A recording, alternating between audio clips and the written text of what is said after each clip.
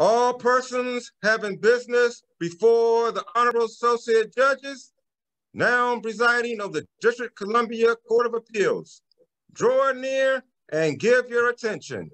God save the United States and this honorable court. This honorable court's now in session. Please come to order. Thank you. Good morning. Good morning. we have three cases on the calendar this morning. I apologize to counsel here and uh, counsel in our uh, forthcoming cases for the delay that we encountered. Uh, hopefully we will, everything will go smoothly now. The first case on the calendar, which I will now call, is uh, Alfred Gibson versus United States. Counsel, you may proceed. Thank you, Your Honor. Good morning, everybody. May please the court, my name is Russell Bykoff. Uh, if I may, I'd like to reserve three minutes for rebuttal. I plan to address a, a fatal weakness in count two, in uh, proof of count two in the government's case, uh, and then move on to the question of whether counts one and two merge.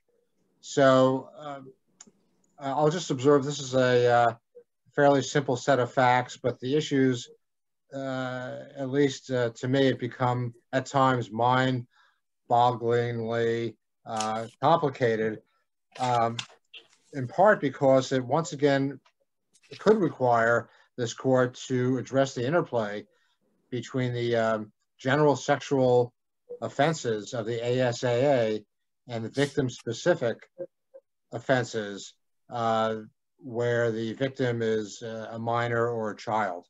So uh, with that said, I'll plunge right in.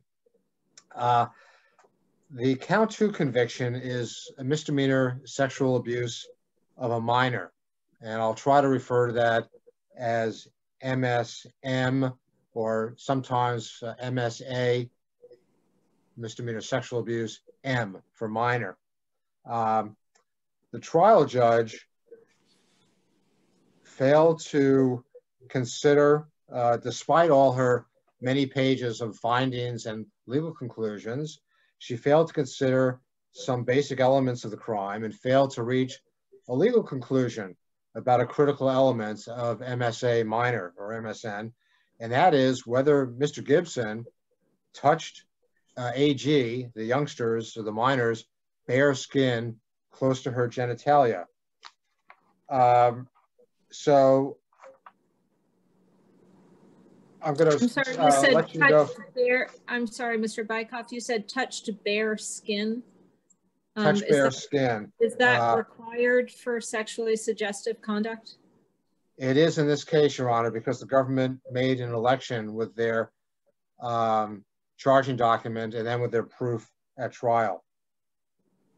Okay, So, I Yeah. mean, regardless of the findings, I thought that we were here on a sufficiency challenge.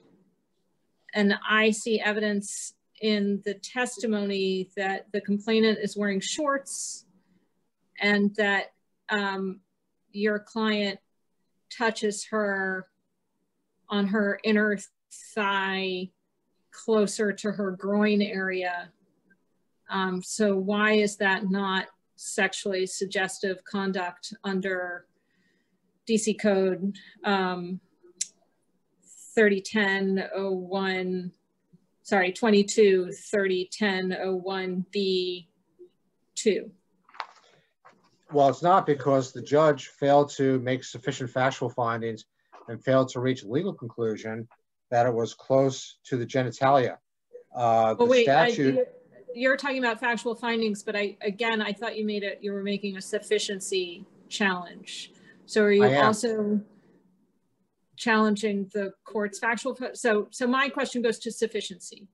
okay, And if there, Well, if there's testimony in the record that the complainant is wearing shorts and that your client touches her on her inner thigh, above the knee, you know, closer to the groin area than to the knee. So if you bisect someone's thigh and you have, you know, the midpoint of the thigh and then it's above that, closer to the groin area, why is that not sufficient evidence under 22 3010 b 2 Well, that's right, Your Honor. Her testimony was that the touching uh, of the inner thigh, and I think uh, one of the few things that the government and the appellant, appellant agree on is that there was a glancing touching with the fingertips on the inner thigh.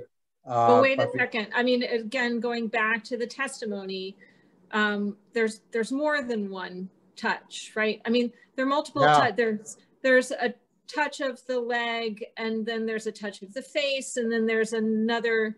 There was a there was initial glancing touch. Then there's a touch of the face. Then there's a, a more grasping touch. There, there's more than one touch of the leg, and the the touch that was closer to the groin area is the last in the sequence. Um, and so that's the touch that I'm referring to. That is above the knee, above the midpoint of the thigh, closer to the groin area. Um, well, you're I absolutely right. That's what the testimony reflects. You're right, absolutely right, Your Honor. The testimony was that uh, there was a, this, a second touching, and this, uh, by the way, was the only touching that counted according to the judge, uh, the, the second touching. Uh, this is the one where the victim testified she moved her leg away and the uh, defendant, Mr. Gibson, was unable to grab her leg, but she was wearing shorts and the tips of his fingers touched her inner thigh uh, beyond the midpoint between her knee and her hip. So she mentions her hip and she mentions um, her groin, uh, but she nobody mentions the genitalia. And the statute requires that uh, the touching be close to, quote, two words, close to, close quote, the genitalia. And, and how, uh, how can something be close to the groin and not close to genitalia? Well, there's a difference, I think. Uh, this, this, may be uh, uh, beyond my uh, scope uh, as a, a, lawyer. I'm not a medical expert or an expert in physiology, but uh, the genitalia is one thing, and that's what the, those, that's the word the statute uses, and the statute says close to the genitalia. but the trial was all about the hip and the groin and the knee and the inner thigh. So at least I mean, on this count. Yeah, I mean, I don't the groin, I, the groin and genitalia tend to exist in roughly the same space, counsel. And uh, I don't know why we would hold a trial court to invoking magic words when she said quite clearly, this, these are her findings, since you're taking issue with her findings. At some point, he puts his hand again on her thigh with his fingers landing on the inner side of her thigh closest to what would be called the groin area based on the testimony in this case. You know, maybe the trial judge is just peckish about using the word genitalia in her ruling, um, but I don't recall an objection to uh, in the trial court that that wasn't enough, permitting the trial court to clarify that what she meant when she said the groin area was consistent with genitalia, which seems well, like a fair statute, reading. The statute, Your Honor, uses genitalia. It doesn't. The statute doesn't use groin. The statute doesn't use hip. And i am going to read the uh, judge's conclusions of law in their entirety for this count. Uh, well, can count I ask you, I, am sorry, if we're going to get all uh, technical about terminology, if, if you had a very self-aware young woman who said, he touched me two inches from my vulva, you would say that is insufficient evidence to say he touched her close to her genitalia? I would say that close to, in the words of the statute, is clearly a judgment call. No, no, but, no, we're not, I think at this point, we're not talking about the close to, we're talking about the genitalia. And you're, you're taking issue with the fact that the judge didn't use the word genitalia and right. Judge Deahl then asked you about groin and said, isn't that essentially synonymous, right? Might be slightly broader, um, you know, to include the back and the front. I don't know. Um, but but if you have a if you have a very you know educated, self-aware about her body complainant who who uses biologically correct terms more precise and says, he touched me X distance, which is close to my vulva, would you say because she used that biological term that that doesn't count as genitalia? I, I just, I'm not quite sure I understand what your argument is. I, uh, I would not say that. I would say that if had she testified and mentioned a vulva, a vulva, we know, we know from from biology that that's part of the genitalia. That's not an issue. But okay, never, so I'm not she, aware that if she testifies that he touched me on my upper inner thigh, we all know what's above the upper inner thigh. Why does she have to use the word? Why does the court have to use the word? Why can't we just say that is close to genitalia? Well, because that's not what the statute says. The statute gives the, uh, the option to the government of manifold ways of proving a case like this. And in this case, um, let's let me turn to 223010 for a minute. Um, so we can see all the many ways and the government elected in its in its um, information uh, that um, Mr. Gibson being 18 years or older and being in a significant relationship, which is also an important statutory term, um, siblings related by blood, with AG, a minor under 18 years, uh, which is another issue, that is 17 years old, engaged in sexually suggestive conduct, that is, with a minor, that is conduct, contact between Mr. Gibson's hand and AG's inner thigh, which was intended to cause and reasonably did cause sexual arousal and sexual gratification. So the government, uh, in its information, charges a touching between of from Mr. Gibson's hand with AG's inner thigh. Uh, and the statute then says that in subsection uh, B2, touching a minor inside or outside his or her clothing close to the genitalia and several other uh, body parts in that area. Um, so the government uh, was trying to show a touching a touching on the inner thigh, but the statute has a specific specificity of close to the genitalia. And Mr. Beckhoff, may I ask you a question about this? Yes. Um, do, do you do you agree that the misdemeanor sexual abuse of a minor statute is a lesser included offense of the second degree sexual abuse of a minor statute. Your Honor, I um, I think that may be from one of the cases. Fortunately for for me, um, that crime was not charged in this case. We only have well, but you see, what I'm wondering is this: when you say that crime wasn't charged in that case. That crime involves sexual contact rather than um, uh, the the, um, uh, the, the specific sexual touchings uh, in the misdemeanor statute, and touching the victim here on her inner thigh would have been sexual contact.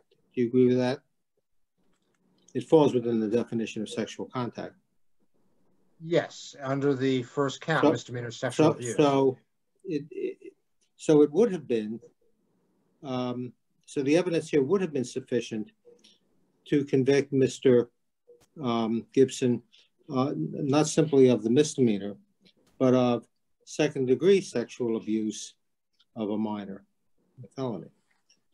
It seems odd to think that the conduct proven would have been sufficient to convict him of the greater offense, the felony, but not sufficient to convict him of what seems like a lesser, perhaps lesser included, offense of misdemeanor. Well, Your Honor, I actually never, I didn't look carefully into the felony and the felony elements because that's not part of this case. But I will uh, argue that, uh, speaking of lesser included offenses, uh, in this case, as charged and as proved, the uh, that count um, count one, uh, misdemeanor sexual abuse, MSA, is a lesser included of MSM, misdemeanor sexual abuse of a minor.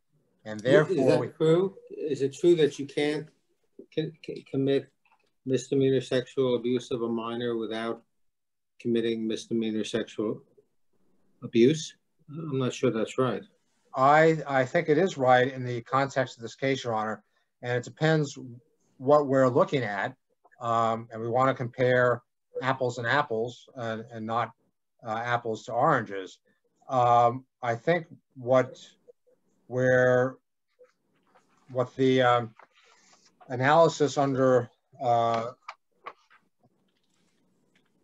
under Just, block. Can, can, I ask an example? If, if somebody, sure.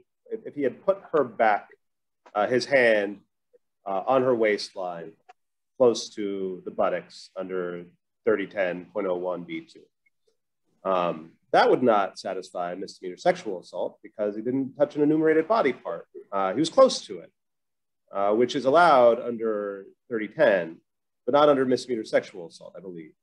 Um, so why why isn't that preclude a merger?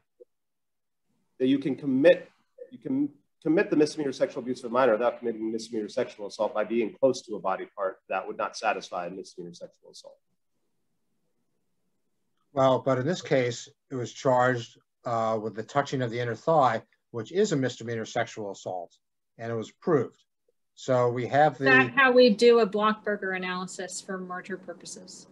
Well, I think. Don't, uh, don't we look at the elements of, of the crime instead of the, the facts of the particular case, right? And you can think of all sorts of different factual scenarios along the lines that Judge Deahl just mentioned. You know, if someone touches me uh, or a, a child on their collarbone, right? Maybe that's close to the breast, but that is not touching the breast. So it's not misdemeanor sexual abuse, but it could be misdemeanor sexual abuse of a minor.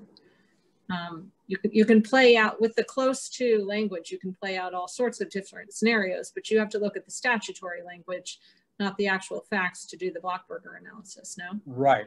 Under Blockburger, we look to the elements, but what elements are we comparing given the manifold ways in which both of these crimes can be committed under the statute? There there are many, looking at the statute, there are many different options that uh, can exist in uh, common sense, uh, Your Honor. Well, how narrow do you want us to go, right? I mean, I would think that we would at least look at, compare what constitutes se sexually suggestive conduct with what constitutes sexually uh, sexual contact, right?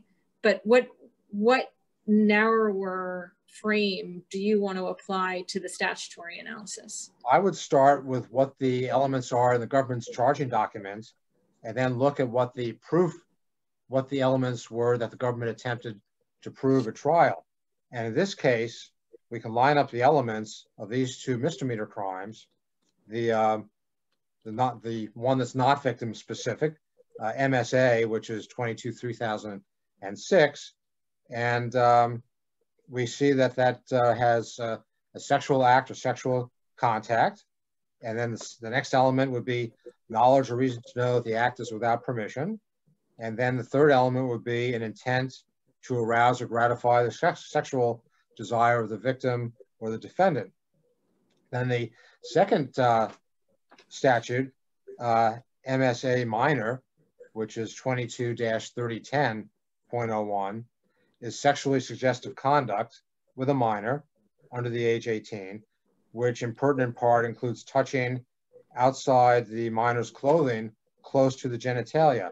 And I would suggest that that element and the first element that I mentioned in the other statute, sexual acts or sexual contact, are essentially the same as charged and proved in this case. In fact, the government is getting literally, literally getting double duty out of the single touching that Mr. Gibson committed against AG's inner thigh. There, uh, that one touching is the evidence. You're, you're, making an argument that sounded pretty good before Blockburger. I mean, before Blockburger, okay. transactions, you know, single transaction might have gotten you all the way home, free block but now it just sounds irrelevant to me um, from a merger well, analysis. It is a single transaction, and what we're doing in this case is uh, looking at um, an attempt, a possibility to convict and punish uh, twice for the same act. Um, and the judge backed away from that because the judge, the trial judge noted uh, the possibility of a merger.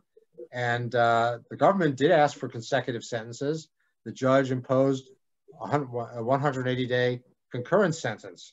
So I think basically the first element is going to be the same.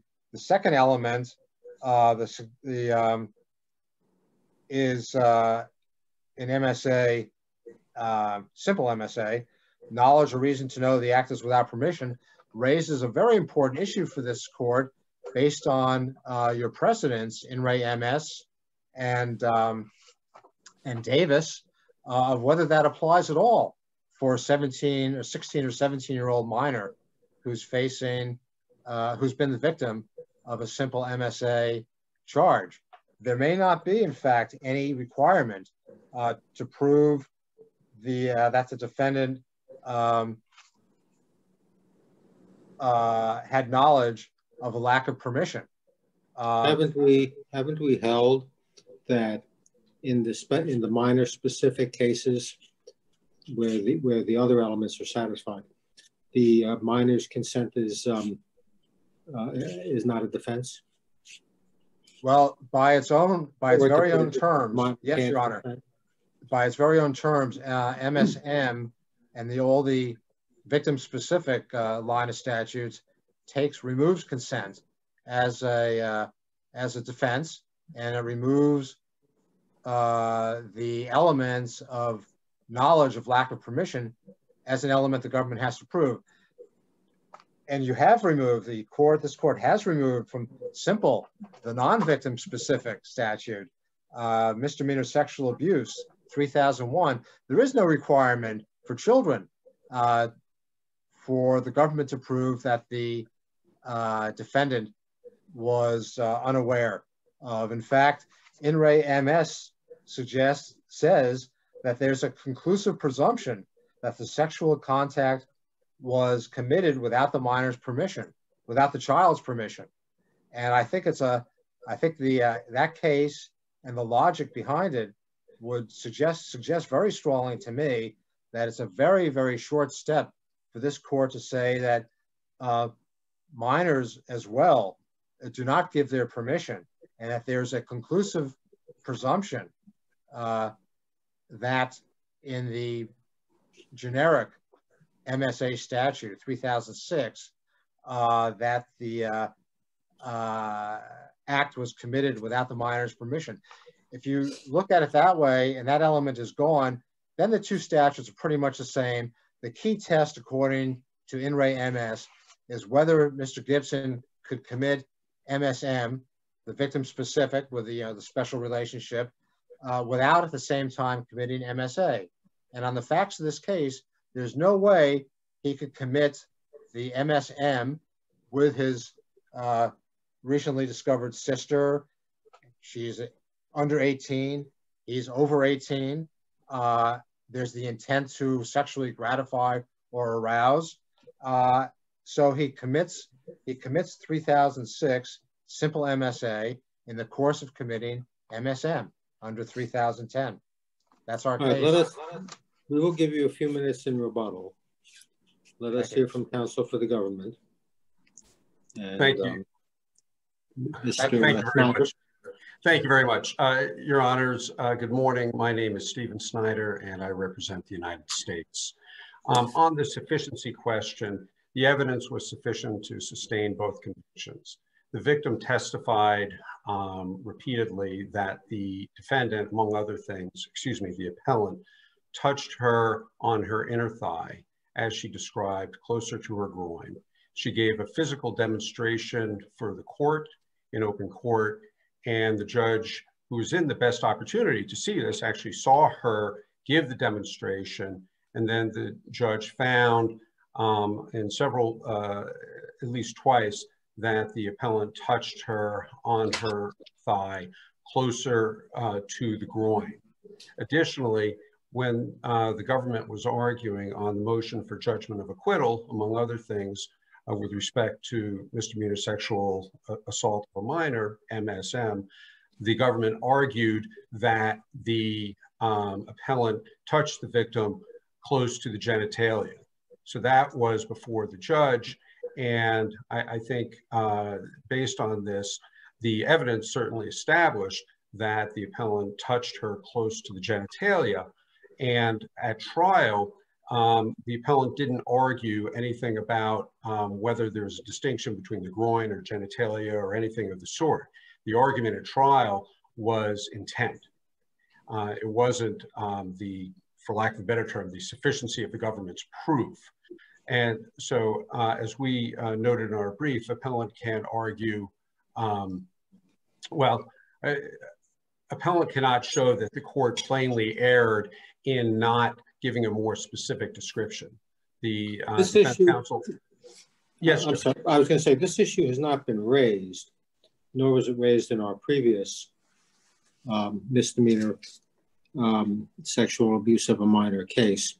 But I wonder if you have a view on whether the statutory phrasing close to, be it the genitalia or other parts of the body mentioned in the statute, um, uh, is, um, is, is not is, is sufficiently precise so as not to be unduly vague. Um, I we haven't uh, considered that question. It hasn't been raised, so I don't know whether that broad language um, is an issue. An appellant hasn't raised a due process challenge here, so um, I, I, I, haven't uh, focused on that. Okay. Um, but in any event, uh, the given the uh, findings of the trial court and particularly appellant's uh, trial counsel's failure to seek more specific findings under Rule uh, Superior Court Rule of Criminal Procedure 23, uh, namely whether uh, groin or close to the genitalia are um, are close enough or synonymous so as to fall within the ambit of the statute. I don't believe there's any basis um, for appellant to challenge uh, the sufficiency of the evidence. Um, so if the court has no more questions on sufficiency, I'll move on to the merger question. Um, I just wanted to make sure I understand understood what you just said that sure. there there was no challenge to the court's findings. Um, so so we shouldn't worry about that. But you're not making an argument, are you, that the sufficiency of the evidence as to the location of the touch is unpreserved? Or are no. you, are you? No, no, no, no, no, I'm not making that argument okay. at all. Okay, thank you. No. sure. Um, so with respect to the merger question, um, as this court and other courts have found repeatedly, the question is whether, um, well, bringing it to this case, whether uh, one can commit MSM without committing MSA. And the answer to the question is yes. And the reason is because there are um, substantively different um, elements. You certainly have uh, the elements uh, with respect to MSM of a minor in a, a, special relationship, but also in MSM, the government is required to prove that the um, a defendant engaged in sexually suggestive conduct. And that conduct is to sexually arouse himself or others. Whereas in MSA, uh, the government is required to prove that a defendant made sexual contact. And the sexual contact is to abuse, humiliate, harass, degrade, or arouse or gratify the sexual desire of any person. And those are different elements. So uh, it is possible, and the court actually gave a number of examples uh, to um, commit MSM without committing MSA, such as by touching a, um, a victim, a with a 17-year-old girl with whom the um, uh, defendant is in a special relationship, say, you know, on the shoulder, close to, but not on the breast, or touching underneath the sleeve of a shirt um, anywhere, you know, touching her forearm under the sleeve of the shirt, assuming the intent elements are met. Um, and so therefore, because and, and, those, those acts would not constitute um, MSA. So therefore, it is possible to um, uh, commit MSM without um, committing MSA. Um, appellant argues, he says, on the facts of this case, they merge. But the courts are clear that you don't look to the facts of the case. We look to the elements, and then, as this court has stated, the practical question of whether it is possible to commit one, um, one offense without committing the other offense. And because it is possible to commit MSM, because we have these two different elements, the court is not even required to address the, um, the consent issue that appellant raises, which is whether a 17-year-old um, minor should be considered um, presumptively unable to grant consent or permission uh, within the ambit of MSA. This court has never addressed that and yet the, the government submitted a 28K letter going to that question. Do you want to speak to that at all?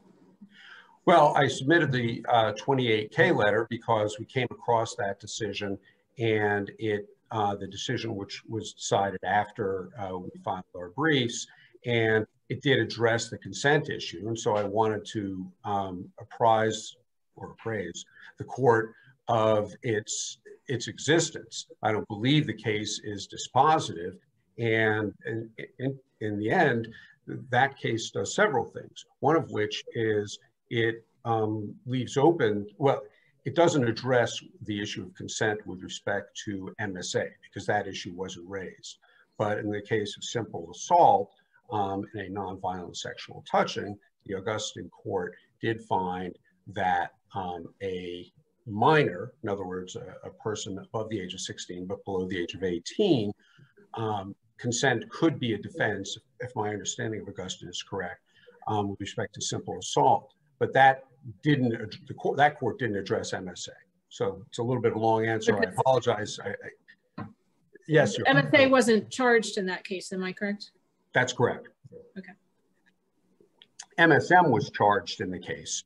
And right. so that was, that ultimately was the nexus. Uh, but that case doesn't compel um, a different analysis of our current case or a different result in that case. Um, because again, here, the actus reus between MSA and MSM, actus reus is, are different. Sexual contact in MSA, sexually suggestive conduct in MSM and those uh, two offenses also have different um, different uh, mens rea um, elements. And so therefore, uh, because you can commit MSM without um, committing MSA, MSA does not merge into MSM and the court's not even required to um, address the uh, consent question. If the, uh, if the court has no more questions, um, the United States asks that the judgment, judgment of the Superior Court be affirmed. Thank you. Okay. Thank you. Uh, Mr. Berghoff, a few minutes. Well, thank you, Your Honor.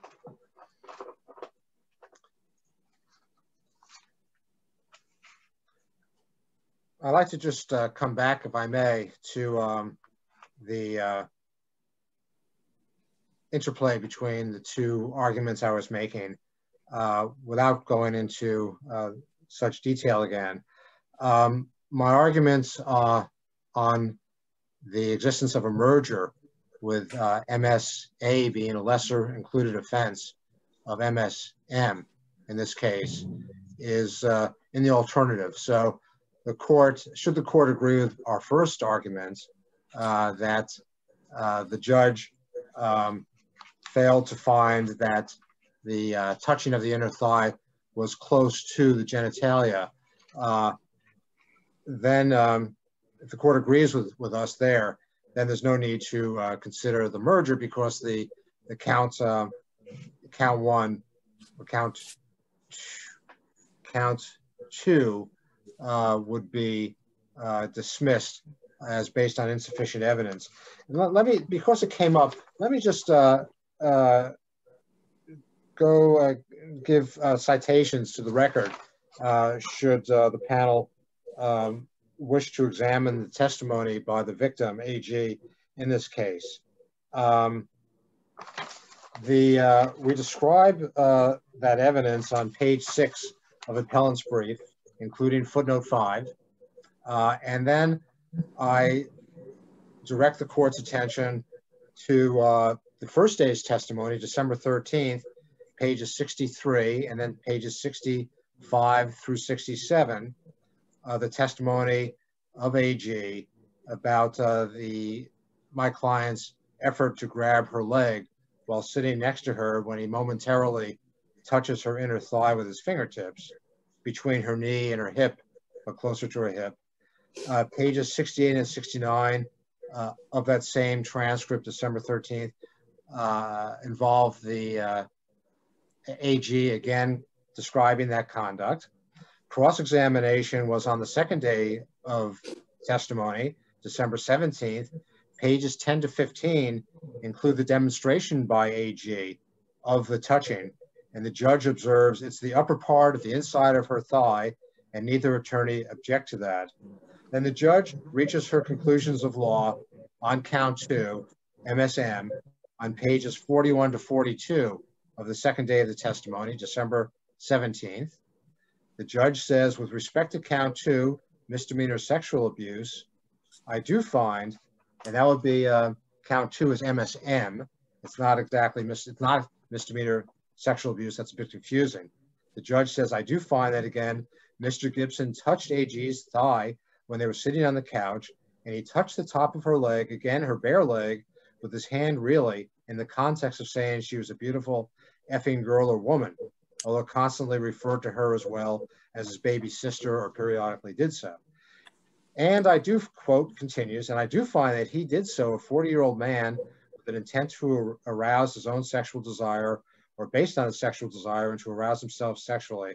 And I do find as to the, so that's the second count of misdemeanor sexual abuse of a minor.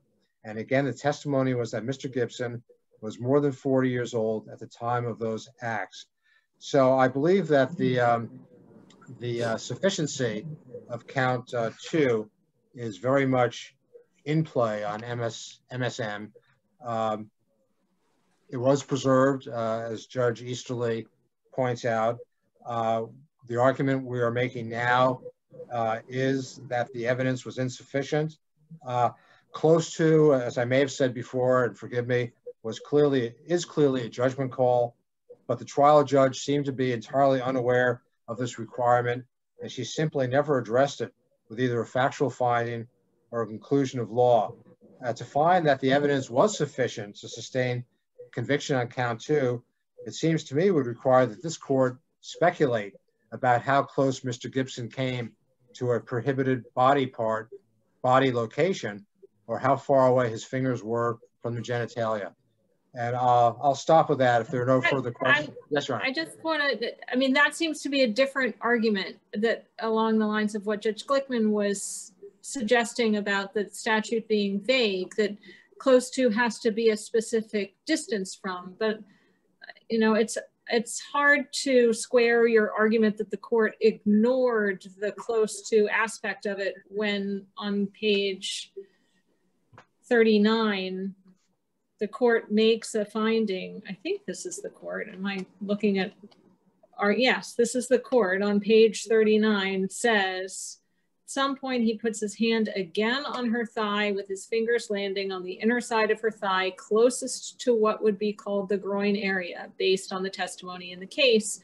And the testimony in the case is really, I mean, you know, I guess the defense went for it. It was really trying to get her to say on cross examination that the touch was closer to the knee, and it didn't work.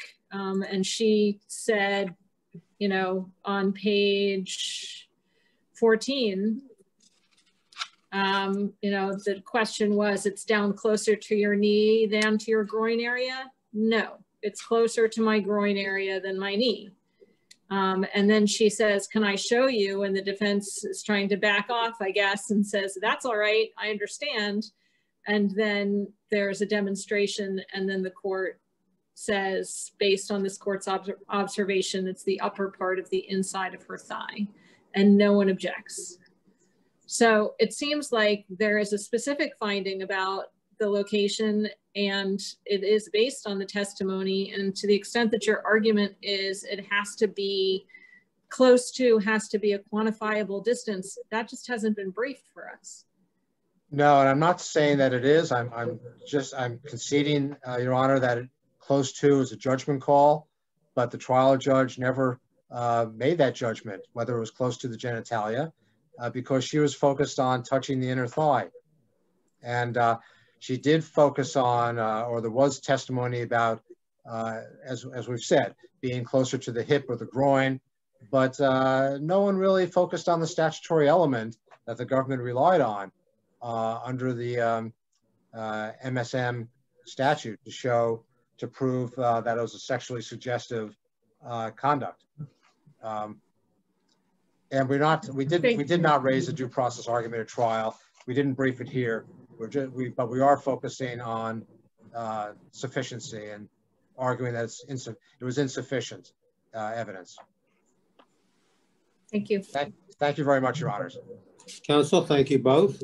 You may, you are excused and you may log off. Thank you.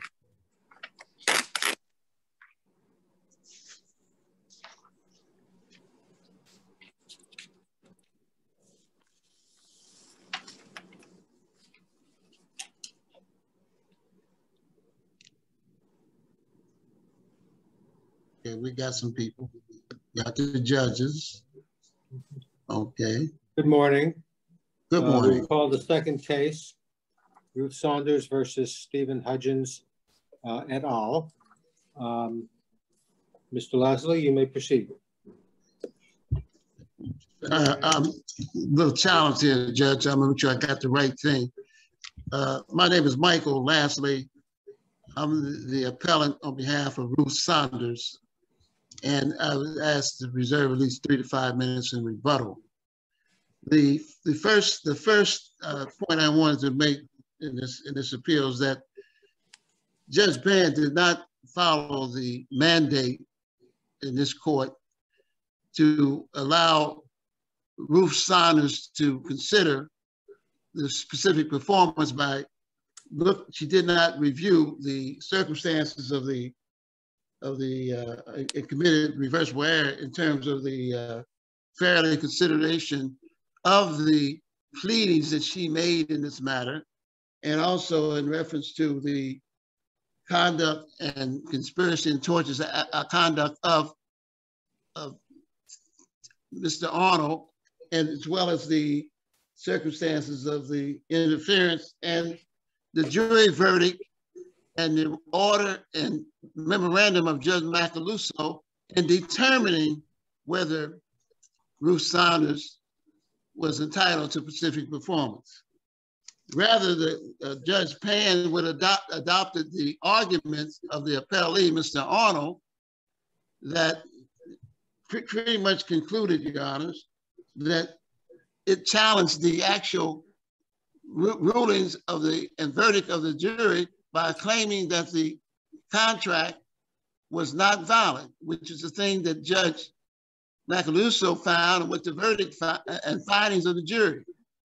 I don't, so, I don't know if that's I don't know if that's true, counsel. Um, there are two different things, two different questions in my mind. One is was there a contract for purposes of tortious interference of contract, for breach of contract, then there's a separate question for specific performance of whether or not its terms are sufficiently definitive to, you know, order that they be carried out.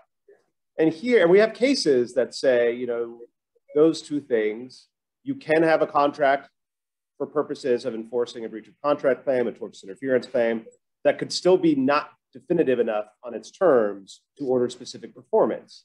Um, I can cite a few if you want, but do you have any reaction to that?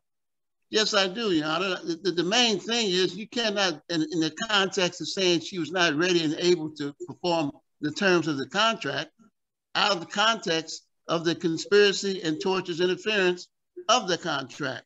So uh, the, the, terms of the contract was somewhat negated by the failure and the conspiracy of uh, Mr. Huggins and Mr. Arnold in terms of what they did to keep her from even trying to fulfill the terms of the contract. So what, what's relevant in this in this context is that you cannot argue that she was not uh, able to fulfill the terms of the contract, or she was unable to uh, uh, uh dictate to uh, Mr. Huggins what she was trying to achieve by by the whole focus of what the contract was supposed to say and do. So you, you the, the, the case law focuses on the fact that you cannot negate a contract, you cannot negate the circumstance of the contract by the conduct of the uh, one of the parties, and in this case, uh, Mr. Huggins and then Mr. Arnold. So uh, the, the, the, notion that the contract was not, uh, the terms of the contract was not, not fulfilled was negated by the fact that the contracts were, were, were undermined by their, their conduct and conspiracy. And what the let me, let me just separate out two points again. Um, okay. One point is your client didn't fulfill the terms of the contract in the past. That's one thing. And, and I agree with you that if, you know, the other side breached, you know, that can't be held against you.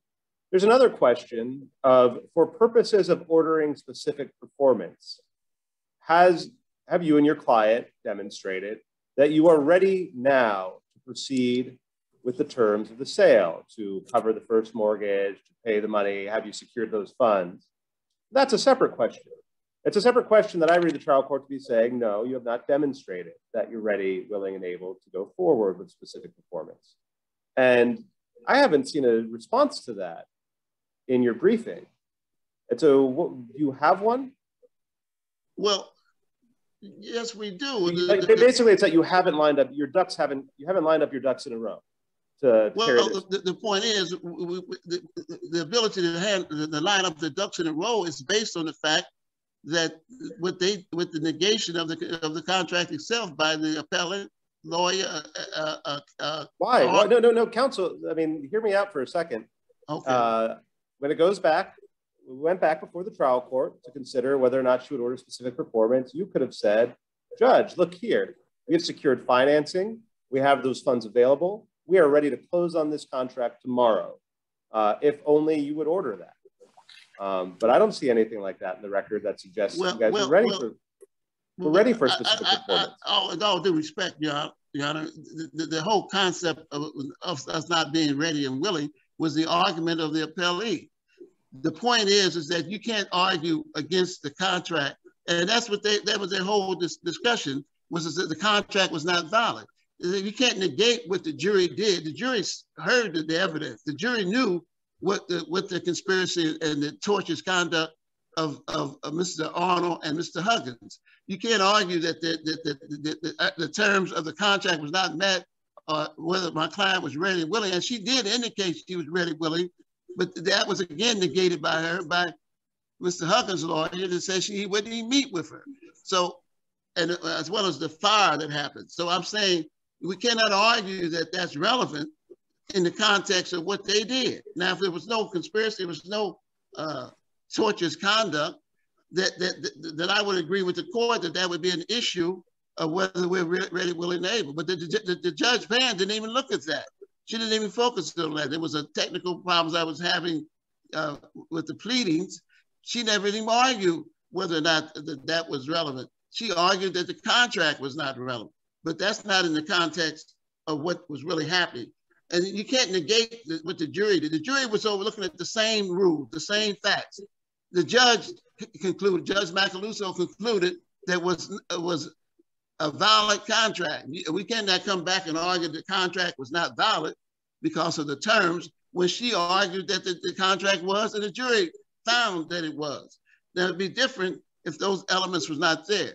It would be different if it wasn't the tort and conspiracy. Or the issue with Judge Pan would have been that we, would you be able to perform the contract? We never got an opportunity to even do that. But based on what she had concluded was uh, what was that issue was the, whether the contract uh, and I think that's different from what the jury did with Judge Macaluso said. She can't argue later that the contract was not valid or we didn't have all the terms because that's that's uh, kind of negate what the what the jury was doing and what Judge Macaluso doing. All these people for years had looked at what was going on in terms of the terms of the contract, and uh, my client had tried to deal with the contract. It was a farce. She's been paid paid uh, Mr. Huggins monies. He decided through the conspiracy that he wanted to get more money. It's a greed thing there. And he wanted to go with Mr. Arnold went along with. And it was based on that that they were able to conclude that we would go forward and, and, and, and sell the property to Arnold and notwithstanding the terms. because they weren't even concerned about the terms because they was engaged in a conspiracy. So what, what our Your Honor, is that the whole point is you cannot look behind what the judge Macaluso did. You cannot go behind with the verdict of the jury. The jury saw all the facts. The jury made the determination of what was going on. Now, when you say will we be able to, uh, which Judge Pan never dealt with, and never even discussed, whether or not we would be ready, willing to, to, to deal with the, the contract. Counsel, let me, let me try an example. Let's say I agree to sell you a car in 2010. Uh, let's call it a, a 1994 Buick Skylark. Uh, so I'm selling you a car in 2010, and I breached and I decided to sell it to somebody else, causing you some damages. And five years later, you win a jury verdict saying, yes, I've damaged you. The car was a great deal. It cost you $5,000. And then there's a question of whether or not the trial court judge can order specific performance. One reason why the judge might not be able to is I don't have the car anymore. I've sold it to somebody else. Another reason, let's say it exploded. That car doesn't exist anymore. So the question of whether or not specific performance can be ordered because the parties are willing, capable, and able to carry out the envisioned performance is separate from whether or not they have a contract. And I don't, I still don't hear you answering that question, especially where Ms. Hudgens was not even a party to this suit at the time Judge Pan ruled. So how could she order her to carry out specific performance? Well, Huggins was part of the suit at the, in, in the second bifurcated case. He was part of the suit. Judge Pan argued that he was not part of the suit. He testified in the case. He was willing, uh, in terms of the TOPA issues that the TOPA plaintiffs uh, argued. So she, she, never, she never argued and, and, never concluded. That was one of the issues that we had. She never concluded that that the, the, the terms of the contract uh, was not uh, was not valid. She, she just just arbitrarily said that based on the, adopting the terms that the uh, appellee argued, which argued their whole complete their whole pleadings was that the contract was not valid. And uh, you can't go with, with, with the jury and everything else is saying that the contract is not valid because that's the terms you want to, to, to, to argue when that's, as I said before, in total contrast of what the jury and with judge, in other words, you're trying to say that they, you would have to conclude that the jury and Judge Macaluso was wrong, but the contract was valid. If it's valid, then you can't then go back to the fact it was valid because of the term Pacific Farmers. And, and, and the other thought side of that is Ruth Saunders has a right to some kind of remedy. And that's why I think the court, this court has sent it back to uh, the, the, trial judge to uh, fashion whether or not she, she can determine whether she is entitled to Pacific performance based on the fact of what had happened to her. And it cannot be from the point of view of, of the other side claim, claiming that the, the whole question of, of a valid and a uh, uh, terms is different because that's a different look and a different focus on the question of Pacific performance. Pacific Mr. performance cannot be negated or con controlled contrary to what the jury and the, and the, trial judge is saying. Mr. Lashley? Um, yes, sir. Let's accept for a moment, let's accept the jury verdict that the contract was valid. I just okay. want to be sure I understand something. Um, did the contract, do I understand correctly, that the contract required uh, Ms. Saunders to uh, essentially do four things, or to do at least four things. It, it, required her to assume the first, or to be willing to assume the first mortgage. Is that right? Yeah, yes, yes, I think that's part of the and, and, it, and is it right that it required her to be to be able and willing to pay the full second mortgage? Which she did. She did do that? She paid that? Yes, she did. She, she, she paid, she paid his, and this was during the time of the fire when uh, Mr. Huggins asked her to pay money and to help in terms of the rehab of the of the of the of the building. What what she did was continue to pay his mortgage and continue to, to pay did him. Pay, least, did she present evidence? Huh? The mortgage, I'm the sorry. second mortgage had not been paid in full, had it? No, because that's when uh, Mr. Huggins sold the property to Mr. Arnold. Okay, so so if I understand correctly, I just want to be sure I have the facts here. Right. The the contract required her to pay in full the second mortgage in order to acquire the property. And am I correct that it also and and the, and the second mortgage as of yet has not been paid in full? I think. Uh, did the contract also require her? One another condition was to pay the water bill. Is that right? She paid the water bill. To. And to pay Hudgens and his attorneys. Is that right? Yes, and she and she made efforts to do that, and they because Mr. Hudgens. Well, the question his, in my mind is different. For those four things, at the time of trial before Judge Pan, those four things had yet to be completed. They may have, she may have started on them, but they had yet to be completed. Did she present evidence that she was ready, willing, and able to do those to do those four things completely and fully? Yes, she was willing. Yes, she, she what she said, and what, what and what I'm saying what that was, was that, that evidence. That well, no, what Your Honor, what what what she said, and what the whole issue in the case was Judge Pan adopted the argument mistakenly argument that that she didn't file the appropriate pleadings. Well, I'm not asking about that. I understand that you object to Judge Pan's ruling there, but in the alternative, she said even if I get the get to the merits, uh, she, you would not prevail. And I just want to understand: Are you claiming there was evidence in the record before Judge Pan that Ms. Saunders was at that time ready, willing, and able to assume the first mortgage, pay off in full the second mortgage, pay, pay off in full the water bill, and pay Mr. Hudgens and his attorneys. I don't know what that money amounts to. Uh, yeah, she was she was willing to do that. You the, say the that. Point, what I'd like to know is what was the evidence in the record that she was ready, willing, and able to to, to do, do those things. Not just well, willing, but ready and able to do them. Well, she she the, the point is, Your Honor, is that you, you, the, the, the, the, question is out of context of what was going on. Miss, Miss uh, what what Mr. Miss Miss Saunders was attempting to do was to receive Pacific performance, but the point is, when we when she made an effort, I, I would think what she's got to do is she's got to come into court and say, I either have the cash in hand because I have a big bank account, or I've got the financing. Here it is or you know she she, she filed she filed and I'd like to know before, if she put in that kind of evidence. She well there was evidence in the case. None of those evidence even got to Judge Pan. But I'm saying before that, and Judge Macaluso and the pleadings in the cases and, and the stuff we filed, she had made efforts and obtained loans and uh, sent a, a letter to Huggins' letter to his lawyer for that lawyer for her, for her to pay the thirty thousand dollars and and that's in addition to the ten thousand she paid for, in the interim period.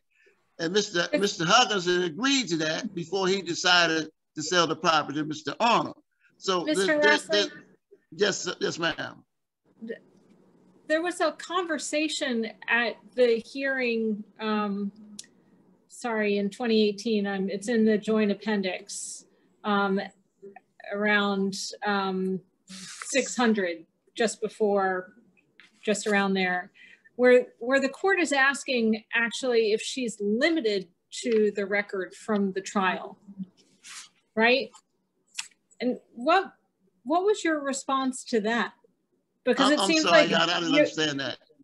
So, as far as I can understand, it sounds like uh, appellee's counsel was arguing to Judge Pan that the issue of specific performance had been fully litigated at trial and the court just hadn't made findings on that. And so Judge Pan specifically asked you to respond to whether I'm confined to the record before Judge Macaluso or whether additional evidence can be presented. Uh, that's uh, at, that's at page supplemental appendix 602.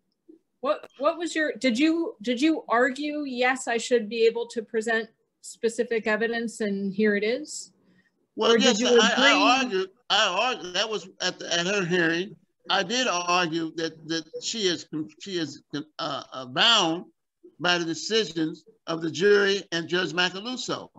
And I, I was, I, did- But, sorry, let me make, again, making this, this distinction that Judge Deahl was making between evidence that there was a contract, right? uh, yes, and evidence that shows that your client is ready, willing, and able to perform the terms of the, the contract. And it sounds like what Appellee's counsel was arguing before Judge Pan is all of that evidence was presented at trial. You shouldn't look at what the current circumstances are. Well, what, the, the circumstances did, did not change. The circumstances were the change were the same as what what ju- the, the verdict the verdict and what Judge Macaluso argued. That, What- that might be true, that might be true as a matter of fact, but I'm wondering whether there needed to be some proof of that, right? I mean, your ability to make a down payment, to have financing, right? I mean, banks don't extend offers to pay mortgages for an unlimited amount of time, right? They usually say, here, we'll finance you at this rate and you have to close within this period of time. With the, Um, no, no, and no, so the fact that she was ready, willing, and able to perform at the time of trial might not be dispositive of her ability to perform at the time you're back in front of Judge Pan, well, right? we, we were we were uh, uh, uh, initially, and what we we thought the appellant thought that we were there to see what in fact would be decided in reference to what was happening at the, in the jury case and what the judge Macaluso ruled. You, you, I, I don't think there's any issue at all in reference to what what may have happened to their arguments. I don't think that at all fol- follows anything. Okay, So let I- us hear, I'm sorry, I sorry. didn't mean to cut you off. But Mr. go ahead, go ahead. Okay, well, uh, we'll give you a few minutes in rebuttal. Let us hear from uh, counsel for the appellees. All right, Um, thank you. And let me ask, I gather there are, are there two appellees before us now? That's right, Your Honor. And uh, have you dis- discussed among yourselves how you want to uh, divide up your time? I'll take the first 10 minutes, Your Honor, and Ms. Alexander will take the second five. Very good, thank you. Okay, Mr. Russo, go ahead. May it please the court, Michael Russo on behalf of Defendant Arnold. Uh, There are two aspects of this uh, brief appeal that need to be addressed. The substantive issues uh, were addressed on Mr. Lasley's uh, argument. I do want to just touch or raise the fact that procedurally, this case, uh, it puts us at a distinct disadvantage in that the brief is devoid of any of the formalities, but most importantly, devoid of citation to the record. Uh, There are two paragraphs in Mr. Lasley's brief that refer to a record or any evidence. Those are paragraphs 20 and 21. And it should be noted that those paragraphs refer to the brief that Mr. Lasley submitted to Judge Pan that Judge Pan rejected. But Are in you, are you sure this is this is where you want to start your argument? That his brief is devoid of citations to the record? I just want, what I do want to point out is that the record that is cited is not the record before the court. It's an I, I appreciate that, and, and, and that is that is very much intertwined with the first issue that he, with the first uh, argument that he makes, which I take to be, you know, on October 16th, he filed a brief with the trial court, and you know, clearly had some technical issues, and for the trial court then to strike it and not consider it uh, seems a bit draconian. Of, you know, everybody seemed to have it. You know, it's in the record. I'm- the trial court had it. I, I, I think it was electronically filed, or at least it went through the case file express. Um, so I'm not sure what happened, but it, it seems, sole- pretty, sev- seems pretty severe to me uh, to his client that if he had technical issues that precluded him from understanding that his brief had been filed, that you're going to end up dismissing uh, a, a obviously meritorious, uh, a case that at one point had won a jury trial. Judge, the sole point I'm trying to make is that the only citation in the in the uh, Apple appellant's presentation to this court is not a citation to the record. It's a citation to a deposition that was right. not offered and as part of the record. Counsel, did you move to strike his brief? The court did that sua sponte. Oh yes, it, the Smith we we moved in this case in this in this court, system. right? I mean, yeah.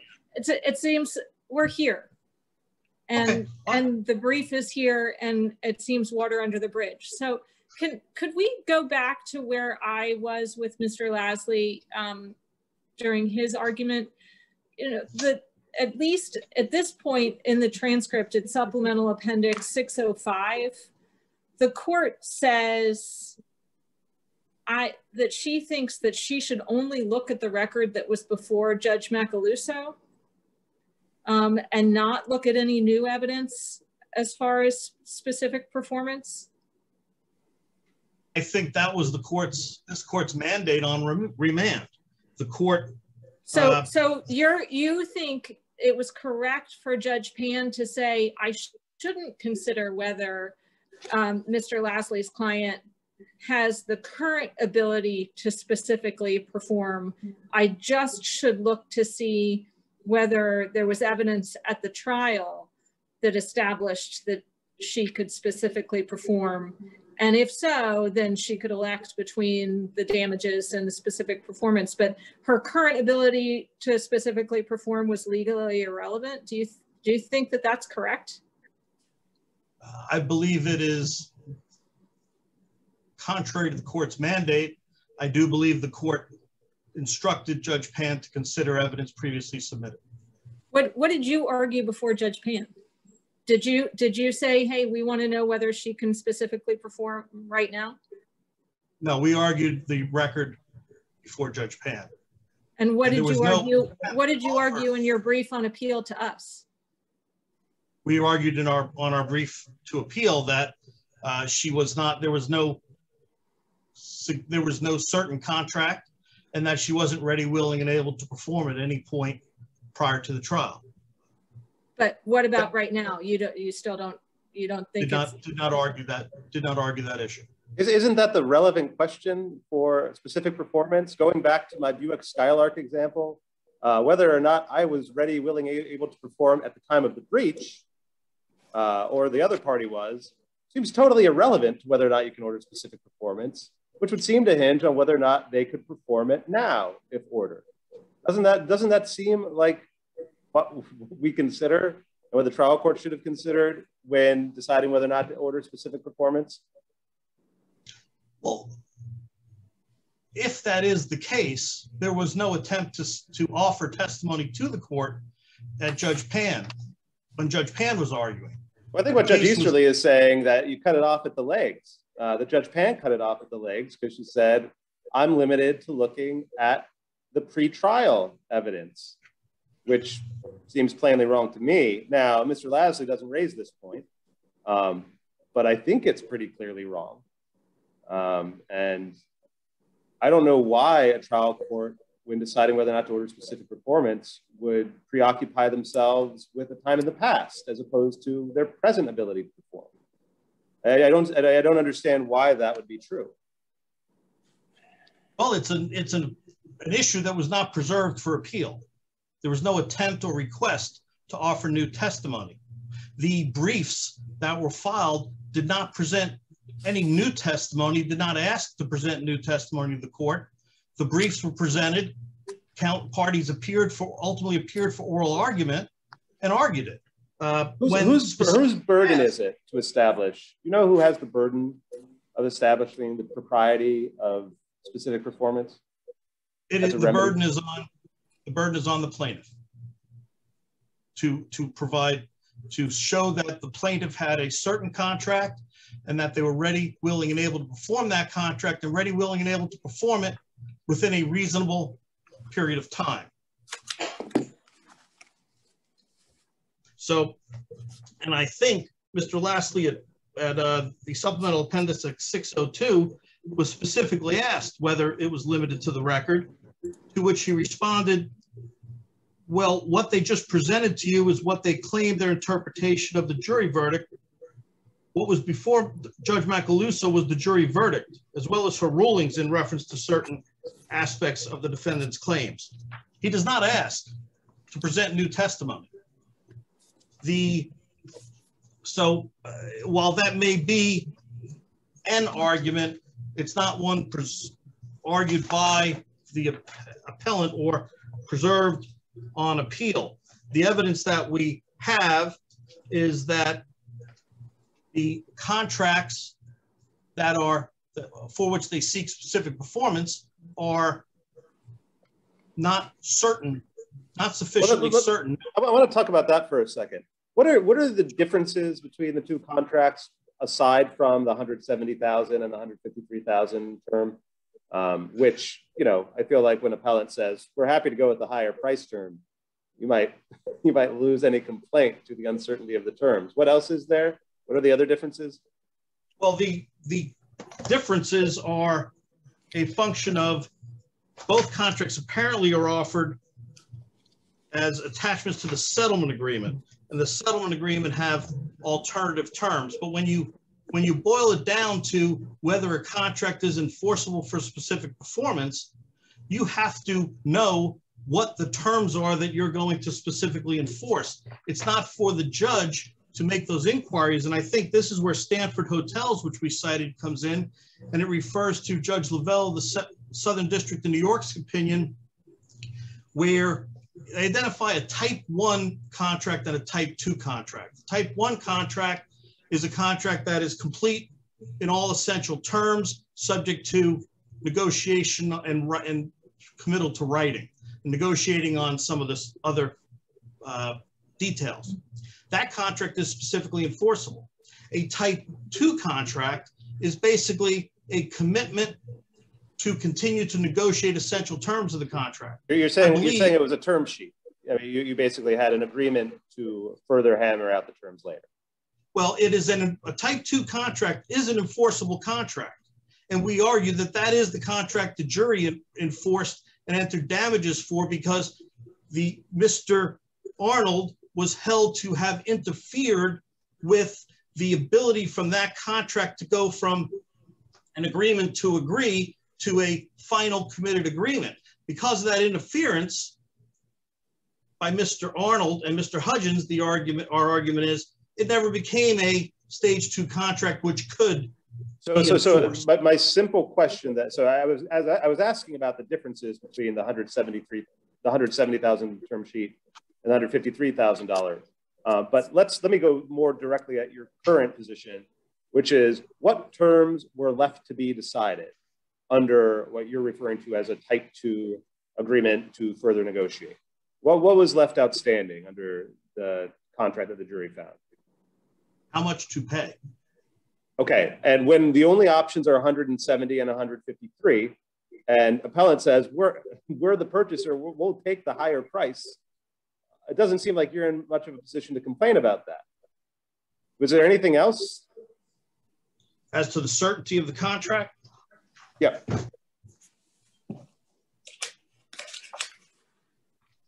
Uh, no, there's nothing else but the term but that okay. amount. The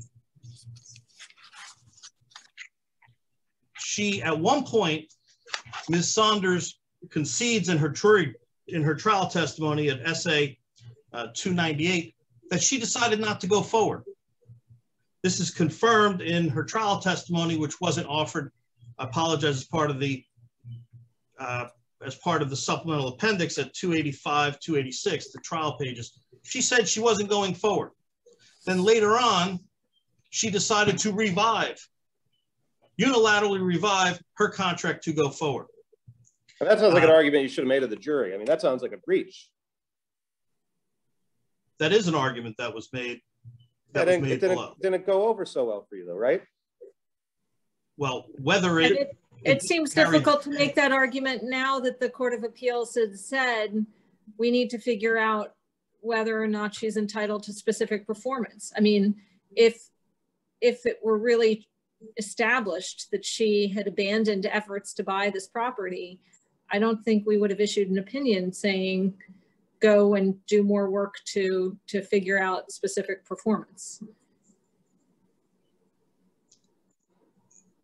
To determine whether there was a contract in place, and that is the, the first element of a specific performance evaluation.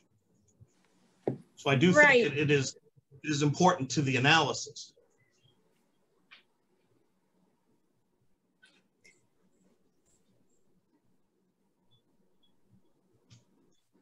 Uh, in uh, my time is my time is near. Uh, with respect to the conspiracy argument, I'll only say when specifically asked at SA 667 for Mr. Lasley to cite to evidence or proffer evidence as to why the conspiracy prevented the appellant from actually conducting, uh, from performing the contract he was not able to cite any specific evidence of that. And when specifically asked to cite evidence of uh, ready, willing, and able, he conceded that she made efforts. That was as far as they went. Your Honor, I uh, cede the rest of my time to Ms. Alexander. Good morning. Okay. Good morning. Ms. Alexander, go ahead. Wendy Alexander on behalf of Appellee uh, U.S. Bank. Um, Obviously, most of our uh, position is similar to that of Appellee, uh, Mr. Arnold. Um, and, you know, as far as a couple of the points that you've raised as to whether we should be looking at specific performance and her ability, Ms. Saunders' ability to perform now, you know, obviously, again, Judge Pan determined not to take evidence on that issue, but the facts on the ground, so to speak, have changed. That property is no longer, you know, held by that same Chase, uh, you know, mortgage that uh, the, uh, you know trial took testimony on as to whether she had assumed the mortgage first or second. So you know you're going to be looking at an entirely different set of facts if the court were to ever say this is the analysis we, we need to have. Judge Pan certainly didn't feel like she needed that analysis and went back to the trial court record and decided that Ms. Saunders was not entitled to the specific performance she had requested for multiple reasons. One, the procedural briefing that the court does not want to hear any more about. Second, uh, the issues with uh, the definite terms being lacking. And of course, that is one of the elements that is required before an award of specific performance. And then do you, do you want to take a crack at what definite terms were lacking? Was, was it just 170 or 153? And, and Your Honor, I apologize. I did not participate in the trial proceedings, only coming in at the Court of Appeals level. I believe what Mr. Russo has stated is accurate as far as the, the difference between two short form contracts. Don't, don't you think that's a pretty funny ruling or a pretty funny argument? If somebody says, look, uh, we, we signed two contracts. One was I buy your car for 10,000. One was I buy your car for 11,000. And then we go into, and I say, I want specific performance. I'm happy to pay the 11,000. You say, ah, but it might be 10. So therefore don't order specific performance. Um, I'm willing to pay most, the higher number. It, it's, it's a funny reason not to order specific performance well, that I, maybe I owe even less. You, it just doesn't seem like you have standing to complain about it. But again, that is not the, the, the current facts on the ground or you know current standing of that property is not as it was back in 2003 when her initial contract was entered into or both of those short form contracts. So we're not looking at the same terms anymore. Uh, you know again those four things that uh, uh, judge um, was asking about the water bill the attorney's fee payment uh, the assumption of the first mortgage and the you know payment in full on the second you know, none of those terms now are would be the same if the court, you know, required us to look at whether she was ready, willing, and able to perform those things. That it wouldn't be the same analysis. If, so I, if I remember, none the, of the terms would be the same, or none of the facts going. None, none of the facts with respect to that analysis would be the right. same. Right. We don't. We we don't have a record as to what the current situation is. And, and again, I, I read the mandate as this, you know, the same as Mr. Russo, which is that go determine whether specific performance is warranted. There was a, you know, a however many day jury trial on that issue. Um, and the court, you know, on remand looked at that trial testimony significantly and determined, made that legal analysis, deter, you know, determination as to whether there were definite terms and determined no, there, you know, there, there were not.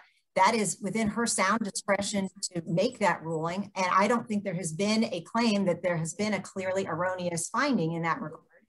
Similarly, I don't think. I guess the way is I that a factual finding? I mean, is that a factual? I, I, that, I that think sounds that it, like a legal determination that there aren't definite terms to a contract. I think she made factual findings that she was not ready, willing, and able to to go to closing. That I believe is a factual finding, and I I do think that the uh, finding on uh, the no definite terms, um, you know, and the I don't know that she went any further on that legal analysis track than the than the no definite terms. Um, but that you know, again, if she reaches that point and that finding, she has made a determination at this point that that she that Ms. Saunders has not met the legal burden to uh, move forward with a grant of specific performance, and I don't think that that has been shown to be clearly erroneous. Um, the as Mr. Russo cited, I believe in the record at SA 653 and 6, 654. Again, this is Judge Pan really delving into the record. She says, "I do see some efforts to become ready, willing, and able, but not ever the full ready, willing, you know, and able uh, requirement to be able to, for me to grant, you know, specific performance. Um, so she went into the the trial record at great, you know, at great lengths um, and and asked about the um, assumption of the mortgage, asked about the uh, payment of partial attorney's fees, but not all. You know, she she went into and revisited the trial testimony on those issues, which is assuming, you know, she assumed that that was what this court wanted as, as a result of its uh, mandate to her. Um, and again, we posit that none of those findings have been shown to be clearly erroneous. Um, and, you know, under CF Independent Management Company versus Summers, uh, you know, the Court of Appeals should be should be bound to those determinations. Um, and uh, you know, there were other findings as well by uh, Judge Pan, which was the seller of the property, Stephen Hudgens, was not before the court due to a bankruptcy stay. I don't know if the court has any questions on that finding as well. Uh, but there were, you know, there were multiple reasons given for the overall substantive ruling um, um, denying Ms. Saunders' request for specific performance. And we don't think that any of them should be overturned on, on, on appeal. Ms. Alexander, Certainly. I want to try to wrap my mind a little bit around the right way to think of this legally. I'm thinking that perhaps the way this should have been looked at is as follows. A record was made at the initial trial on which Judge Macaluso at the time should have determined whether um, uh, Ms. Saunders was uh, entitled, if she wanted it, to the remedy of specific performance. And if that record supported that, Judge Macaluso would have said, okay, you have your choice now. You can take the $40,000 breach uh, damages, monetary damages for the tortious interference, um, or I, uh, I will order, um, enter a judgment granting you specific performance. Now, when we remanded, I think we were asking Judge Pan to make that determination. And the choice would then be based on that record. But I would think that the defense, because because if Miss because if Miss um, Saunders was no longer able to perform, then she would simply choose the damages remedy instead of specific performance. But I would think that if anybody was going to raise changed circumstances, it would be the it would be either Mr. Arnold or the bank. I guess Mr. Mr. Hudgens was not participating. Um, does that sound right to you?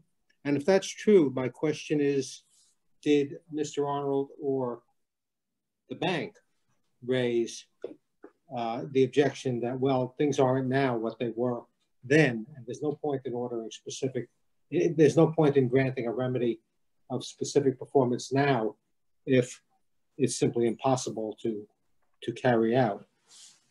You see what I'm saying? I, I, I may not understand the law here well enough.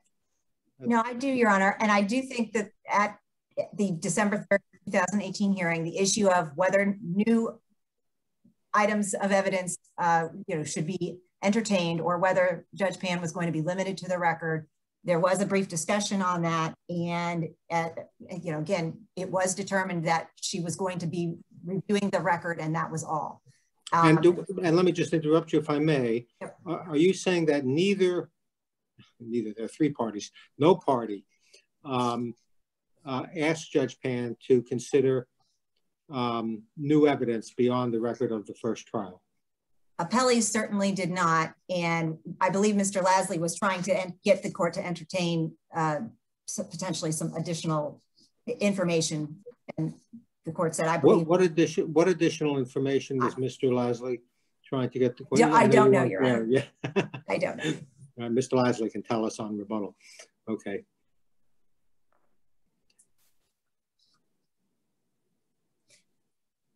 And if, if your honors don't have any more questions, uh, you know, our position is that the court needs to affirm Judge Pan's uh, entry of the uh, re-entry of the 2012 original order with respect to judgment. Thank you. Thank you. Uh, Mr. Lasley, you have a few minutes for rebuttal. Yeah, thank you. I, I think that the, the, most important point is, is what Judge Pan uh, ordered is that she was going to follow what Judge Macaluso said. That's her main order in June the 7th, of, I think, uh, uh 2019. I'm not certain the date. But she she did not do a, a, a separate this uh, uh, opinion or reasoning of what the mandated issue in terms of what the uh, uh, the the, the uh, Ruth Saunders, the, the appellant, could be arguing for. So th this argument from the, the appellee that uh, about the, the, the, terms and stuff. None of those things were even discussed. So one of the things that we argue, and one of the things we, we, we would ask the court to seriously consider, that you cannot argue about the, the, the terms of the contract out of context of why the contract was not uh, fulfilled. So, uh, Mr. I, I, I, get that. Um, one question is whether on the record that was created before Judge Macaluso, yes, the evidence the evidence showed that at that time, Ms. Saunders was ready, willing, and able to perform. Um, the other question is at the at the proceedings on remand before Judge Pan, did you or any party ask Ms. Pan ask Judge Pan to go beyond the record of the create of the trial of the previous trial and enter and receive additional evidence well either uh, current circumstances or anything else un unfortunately uh, no, just Judge answer my question I am sorry I'm a slow thinker, so I want to go through okay. this step. Go ahead. I'm, I am too, so don't worry so, about it. well, we're the slow thinker society. It's a good society. So just just tell. I'm sorry. Go ahead. Any, please, please, did please. anybody on in the proceedings on remand ask Judge Pan to uh, receive additional evidence beyond what was presented in the trial before Judge Macaluso? Uh, my recollection, Your Honor, has been several years, but my recollection is that when I came before Judge Pan, I made an attempt to highlight what what what the the appellant's appellee was trying to say. I think what what was said and what Judge Pan focused on was was the whole thing. She dictated the, the, that uh, that that uh, hearing, and in that hearing, she focused on what the the Pele had said. So it was no real effort, opportunity to go into details or ask that. She never really asked any questions about that. And what we had argued, what we had simply argued, Your Honor, is that the focus is on why Ruth Saunders was unable to perform at the time that these conspiracies and tortious interference had occurred. And those we argued those two things cannot be separated by arguing the terms of the contract and, and, and understand in a bifurcated case, Judge Macaluso had made a decision that, that we could have had specific performance, but that we had selected to, to, to take the money down. We didn't select that. That was the case. That was how the trial, the second trial came about. Refresh my memory. Back when the case was before Judge Macaluso. Yes, sir.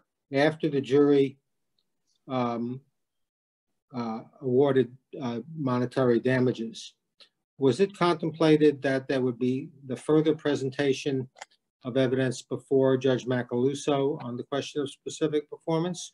Or was it understood that Judge Macaluso would then decide on that record whether there would be? No, she she, she she she had said that she would consider the, the, the specific performance re request based on in the context of what the TOPA plaintiffs was also saying. So she she had made statements that she had she had ruled she was uh, pertinent to ruling uh, considered ruling based on what the uh, the TOPA plaintiffs were saying and based on what the jury had said about Mr. Arnold, that in terms of uh, Ruth Saunders, that's when she decided at, at, the, at the trial from Judge Macaluso that she decided that she would consider specific performance in the context that that's how Ruth Saunders and, and the TOPA plaintiffs could, rule, could, could decide based on her rulings what, what, what was what other kind of damages already. And that's the whole thing about damages under, under, under what the appellate is saying, that Ruth is not entitled to any kind of remedy. And what the what the, the mandate said that she he, she could, could argue for a mandate, would argue that she could have specific performance if there's circumstances support that. And what we maintain throughout all these trials and, and motions is that Ruth and uh, rely can rely on the, the, the wisdom of the verdict and the jury who saw the evidence, who focused on the case, and you can't you can't negate that her right to a remedy, which they and and and and, and the Pelley's uh, counsel said they don't know where Arnold was. There was no opportunity to to to, to ask Arnold to do anything because they don't. They said at the last hearing before this court, he, he said he didn't know where where he was, and and and, and, and they had not, and Ruth Saunders had not got any monies from him. So the bottom line is, I think this court is uh, uh, maybe on first impression, you can't rely on on, on specific performance in the, in the in the abstract. This court has to make a decision on what what can be done in situations where the uh, one of the parties has really destroyed it, destroyed, destroyed rather the ability of the other party to perform and then uh, and then try to come back and argue that the, the party didn't uh, perform because of the, the circumstances of the of the tort or the conspiracy. Uh, we maintain that that's the key issue here is that Judge Pan never addressed that. And the counsel, at, uh, uh, the court asked whether or not uh, she could have done Pacific performance. She tried to do Pacific performance even before the case even sent to Judge Malacco, the, the, first trial was even uh, decided. But the decision and findings of the first court and what Judge uh, Macaluso and her order and opinion focuses on, on those factors. And we would only argue to this court that uh, maybe it's new law, maybe it's new law, new principle. The, the, the bottom line is you cannot negate uh, a, a, a, party can have any remedy whatsoever and and and she has the right to try to elect that with the evidence. And I don't think if be rely to the circumstances of the terms of the contract and whether or not the uh, uh the uh, uh, Ms. Saunders was able to perform in the abstract. It has to be within the context of what the jury said. The jury said what Judge Macaluso okay, said. Okay, this is the last thing. I don't mean to interrupt you, but I think we have your argument. And okay. um, uh, your time has expired. Oh well, well. I think we have. There's, there's, always more time. I, I, have, well, I thank you very much. Thank you for your indulgence. Okay, and, uh, we will take the case. The case is now submitted, uh, and I can excuse um, all counsel. You may uh, log off. All right, thank you very much. all right, see it.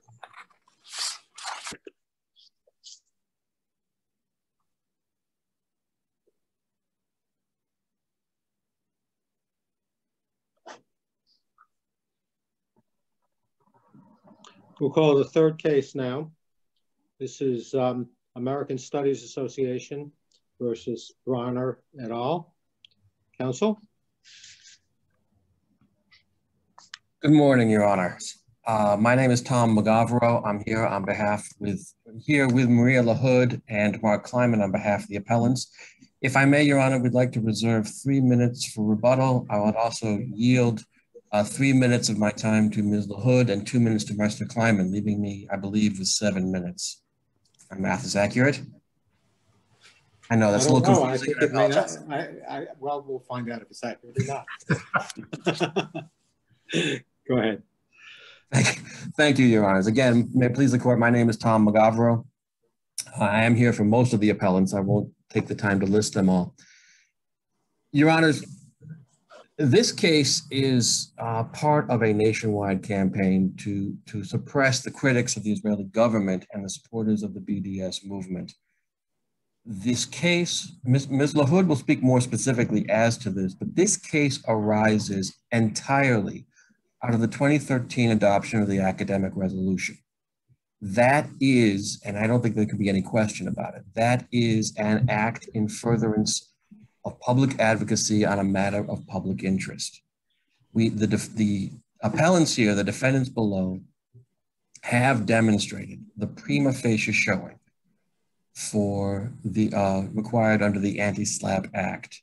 And as so this court I, has said, I would have thought that you wanted to argue that this doesn't have anything to do with speech, right? That your claims are about that the claims at issue are actually uh, about um, corporate control of of the ASA, right? I, and that violations of the bylaws and breach of fiduciary duty, and I, and that the speech that occurs in this case is downstream from that.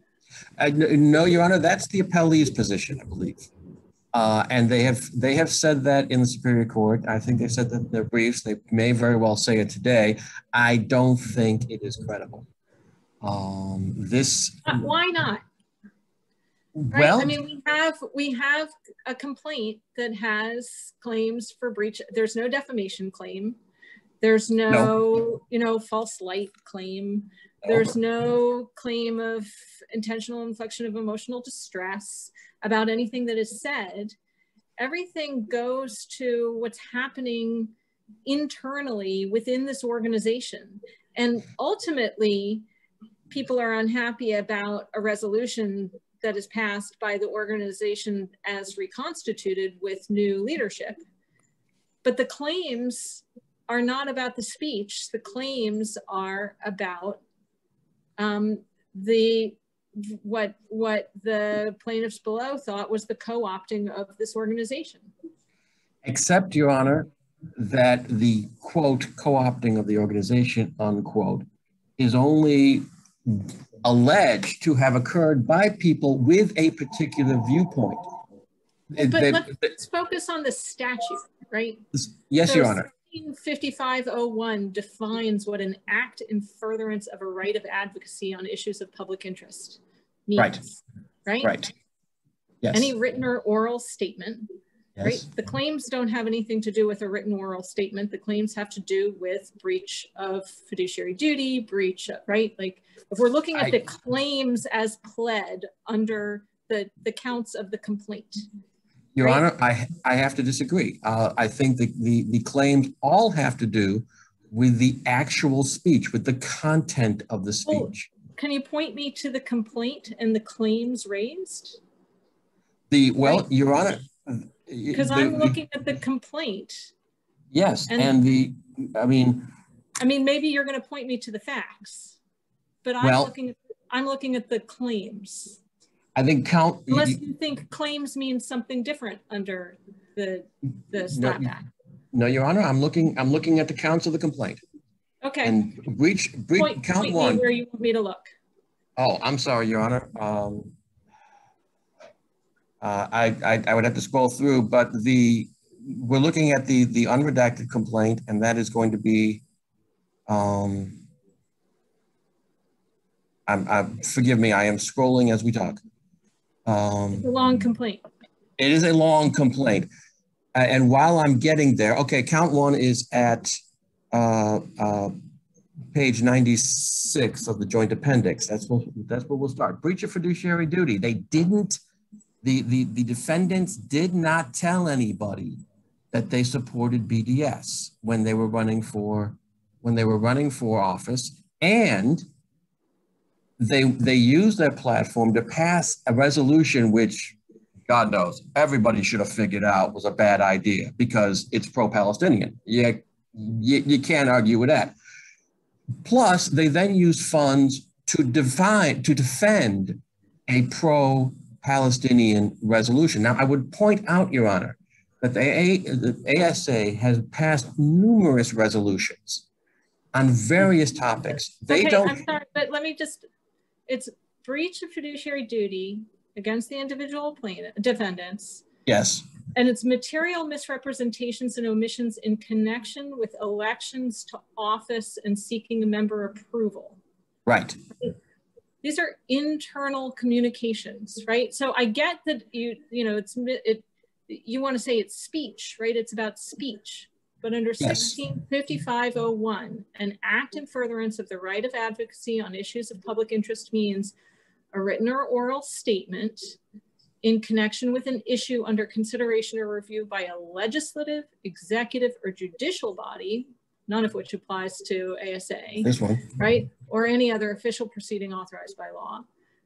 Or in a place open to the public or a public forum in connection with an issue of public interest. Again, not the ASA, um, not the not the internal elections of the ASA. Or would you disagree? Do you think I, that the, do you think the election process within the ASA is a public forum? Your Honor, first, I think that the, the, the, campaign statements, if we're looking solely at count one, the campaign statements certainly are a public forum because they are broadcast to the entire membership. Plus, this is not just, you know, within the it's National Council. private organization, no? It, it, with thousands of members. Um, Plus, Your Honor, I would stress Do you have again. Support for that? I, that's, I mean, that's just an interesting thought that the ASA we, is a public forum, and I'm wondering what support you have for that. Because that uh, doesn't strike me as what I think of a public forum as, but maybe I'm, maybe I'm, um, you know, ignorant of the full scope of that term. I, I think, Your Honor, two points, if I may. First of all, the resolution everything stems from the passage of the resolution. I, I, don't want to go to the resolution right now. I really want to stick to the material misrepresentation, misrepresentations and omissions in connection with the elections to the ASA. Uh, and you think that those are public statements, and I'm wondering if you have any support. And so, I mean, maybe you do, or maybe you just think that's the right answer. Either I, I think it would be interesting for me to hear, but I, I'd like an answer to that question. Certainly, Your Honor. I think the, the, the, the campaign statements, again, they were posted uh, to the membership at large, which meant they were they were broadcast to a large section of the population. Okay, a section I'm, I'm of the population. From you that you would like that to be the right answer, but you don't actually have any support for that position. I do not have uh, case law support for that position. No, okay. Your Honor, I do you. not. Uh, and I, am afraid. Mr. Mugavero, if I may yes, leap in here, I just want to be sure my understanding has been that there is one and only one uh, thing that has been uh, treated in this litigation as an act in furtherance of the right of advocacy on issues of public interest within the meaning of the Anti-SLAPP Act. And that thing, that act, is the resolution itself, not any other communications statement, um, whatever uh, expression um, that that may have occurred in the in the history of this case. And so the issue for us, if that is true, is whether um, the claim, whether, whether any of the claims uh, asserted by the plaintiffs in this case, quote, arise from, quote, the resolution. Is that a correct statement in your view? Um, uh, not, not entirely. If I may nuance it a little bit, Your Honor, and I, I would say I'm getting into Ms. LaHood's the only area here, but the only issue as to the first prong of the AS. Well, yeah, no, I think there are two points to this. Certainly, I, I, don't mean I don't mean to interrupt, but can you tell us the areas that the three of you are going to touch on so we know where to direct our questions? Because I don't think we've heard that yet. No, I'm sorry, Your Honor. I, I was I was going to talk about the, the second prong, whether or not the plaintiffs have met their burden. Ms. LaHood was going to talk about the first. I, I, I but I can certainly I can certainly speak to, to, to Judge Glickman's question. Your Honor, I think certainly the academic resolution was the genesis of the entire lawsuit. That is the the, the, the keystone. If, if that resolution had not been adopted, this lawsuit would not have happened. They would not have brought any of the other claims because they wouldn't care. So, so you think, you think, oh, I'm sorry. I, I just wanted to go back to the statute to say the statute doesn't say if the genesis of the lawsuit is speech, then you can bring an anti-SLAPP uh, motion to dismiss. The statute says that if there's a claim that arises from an act in furtherance of a right of advocacy on the issues of public interest, right, then you can right. file a motion to just special motion to dismiss under the Anti-SLAPP Act. And it seems to me that the claims arise from sort of basic corporate governance, nonprofit governance issues, and the speech is downstream from that. And I, I understand that you disagree, but that's, I'm just in interest of full disclosure, that's how I read the statute. And maybe Ms. LaHood can talk about that. And if you, I, I've been talking over my colleagues, so I'll let them ask you other questions, but uh, you don't have to respond to me at the moment. Uh, th thank you. Actually, to get back to uh, Judge the second part of Judge Glickman's question, certainly, had there not been the, uh, the academic resolution, this case would not have been filed, and they never would have filed any of the claims. However, there is an other element to this, and that is that the plaintiffs have not sued any of the members of the National Council that did not profess uh, pro BDS sentiments, which means so, that. So what? I mean, they can sue whoever they want to. Why does that yes, make more of an anti slap than not?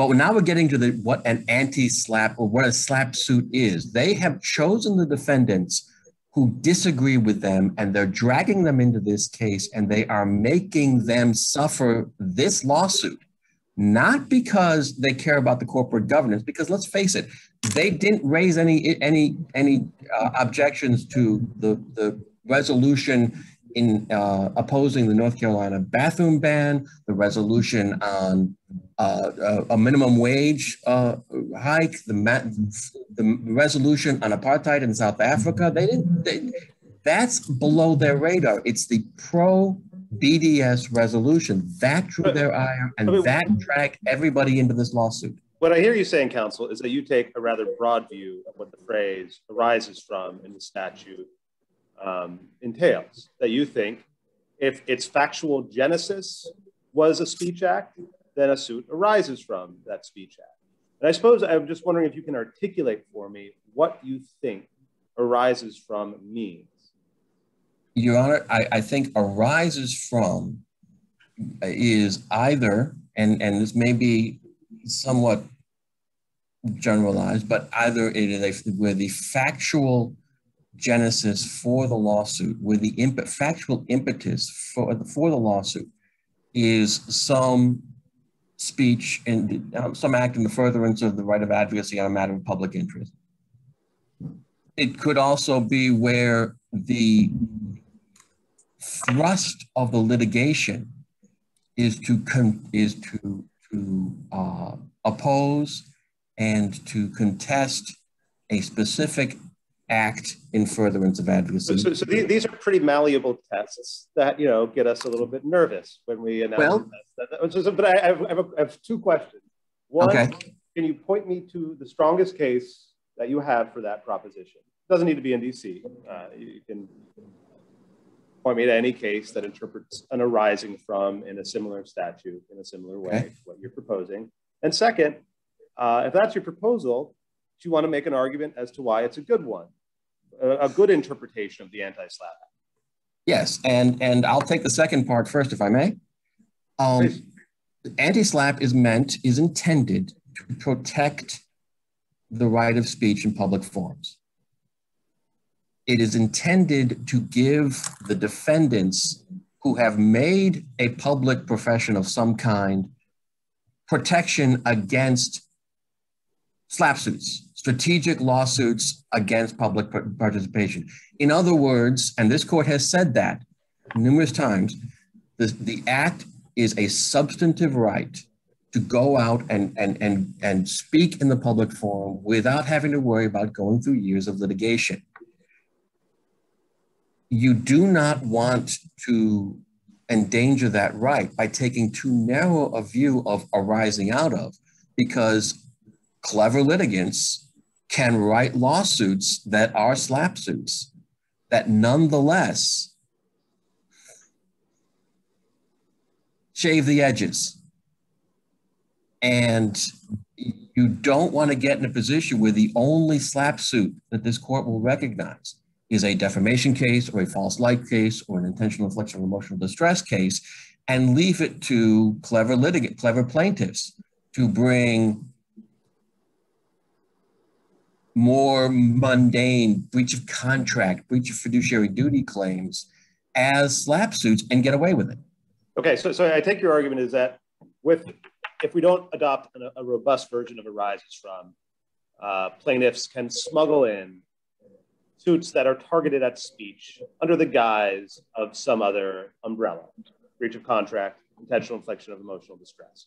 And then you right. want to answer the first part of my question. Do you have a, a case that you think is the most helpful to you on that point? Most compelling on that point, Your Honor. Um, on any number of the, the cases that we cited from the California jurisdictions, they have, I will, I will say they have a broader view of, of anti-SLAPP. But um, I think the, the, certainly the one that strikes comes to mind is the Hecimovich versus Encinal School Parent Teacher Organization. That's at uh, 203 CalApp 4th 450.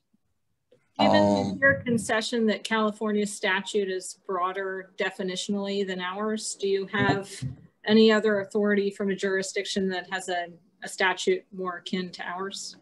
Um, the well, the California statute, although it is somewhat it is interpreted broader, it, that nonetheless that has uh, similar points. And the Hecimovich case does it define does it define an act of furtherance in the right uh, of the right of advocacy on issues of public interest in the same way that we do? Um, if for that particular case, it it it does not deal with some of the differences between the statutes. California does allow anti-SLAPP when it, the, the, case arises out of a ongoing litigation, which I don't think the, the DC court, DC statute does not, but that Hecimovich does not involve that particular distinction. The again, the case was whether or not uh, was, was, was statements about uh, a high school coach. Uh, and even though the claims were, were mainly breach of contract and, and um, um the acts of the school board, it nonetheless fell within anti-SLAPP. I have taken far more time than I need. If I may touch briefly on the point that I was. Yes, you may. I was going to ask you to do that. I have, like everybody else, I suppose, follow-up questions. I'll save them for Mr. Hood. Thank you. Uh, uh, so get ready, Mr. Hood. But, um, but, um, Mr. Uh, Mr. Mugavero, I take it you want to speak to the second prong, the defendant's I, failure, I take it you would say, to present evidence to, to show that they have a likelihood of success on the merits. And that is precisely right. That is precisely right. And assuming the first prong is met, which I understand there are questions about, um, the plaintiffs had the obligation to put forward evidence to show that their case had a, a, a likelihood of success on the merits. And this court, again, has said repeatedly, if they fail to do so, the case must be dismissed with prejudice and attorney's fees must be awarded. In this instance, plaintiffs did not put forward any evidence whatsoever. They quote a number of emails in both the unredacted and the redacted complaint. But I would proffer first, their quotes are not evidence. They are allegations of what the emails say, and they should have put the emails into the record. Either well, in, correctly that they included at one point, and I'm blanking on the point, the deposition of um, what's his name, Mr. Stevens? John Stevens. They did quote from the deposition. They did put a part, part of that deposition into the record, but that was on the question of of uh, whether or not Mr. Barton was allowed to vote, which is clearly a time barred issue. However, and this is for the two points, excuse me, the, the, the, the two types of claims that remained after Judge Rigsby ruled on the 12B6 motion fall into two camps. One, the financial aspect, whether or not the, the, the, the direct national council and the individual defendants breached their fiduciary duty by spending money to defend the resolution. The second one is the, the editor of the encyclopedia contract. None of the, there are I would, no. I would add a third, although maybe you would say that all this is all included in the um, 12B6 claims that, that were granted by the, by the judge. I, I would say that there's um, that, that some of their claims relate to actions that were taken to prevent the opponents of the resolution from exercising their rights uh, to advocate against its adoption or to prevent members of the, relatedly to prevent members of the association from being adequately informed about the resolution. Now, are, are you saying are you saying that that those only the claims that were dismissed on 12b5, 12b6 uh, grounds were in that category? I, I think so, but you may be right. Uh, the, those, yes, the, the, the claims that were dismissed under 12b6 fall into that category. What happened in 2013 uh, uh, during the process by which the resolution was adopted.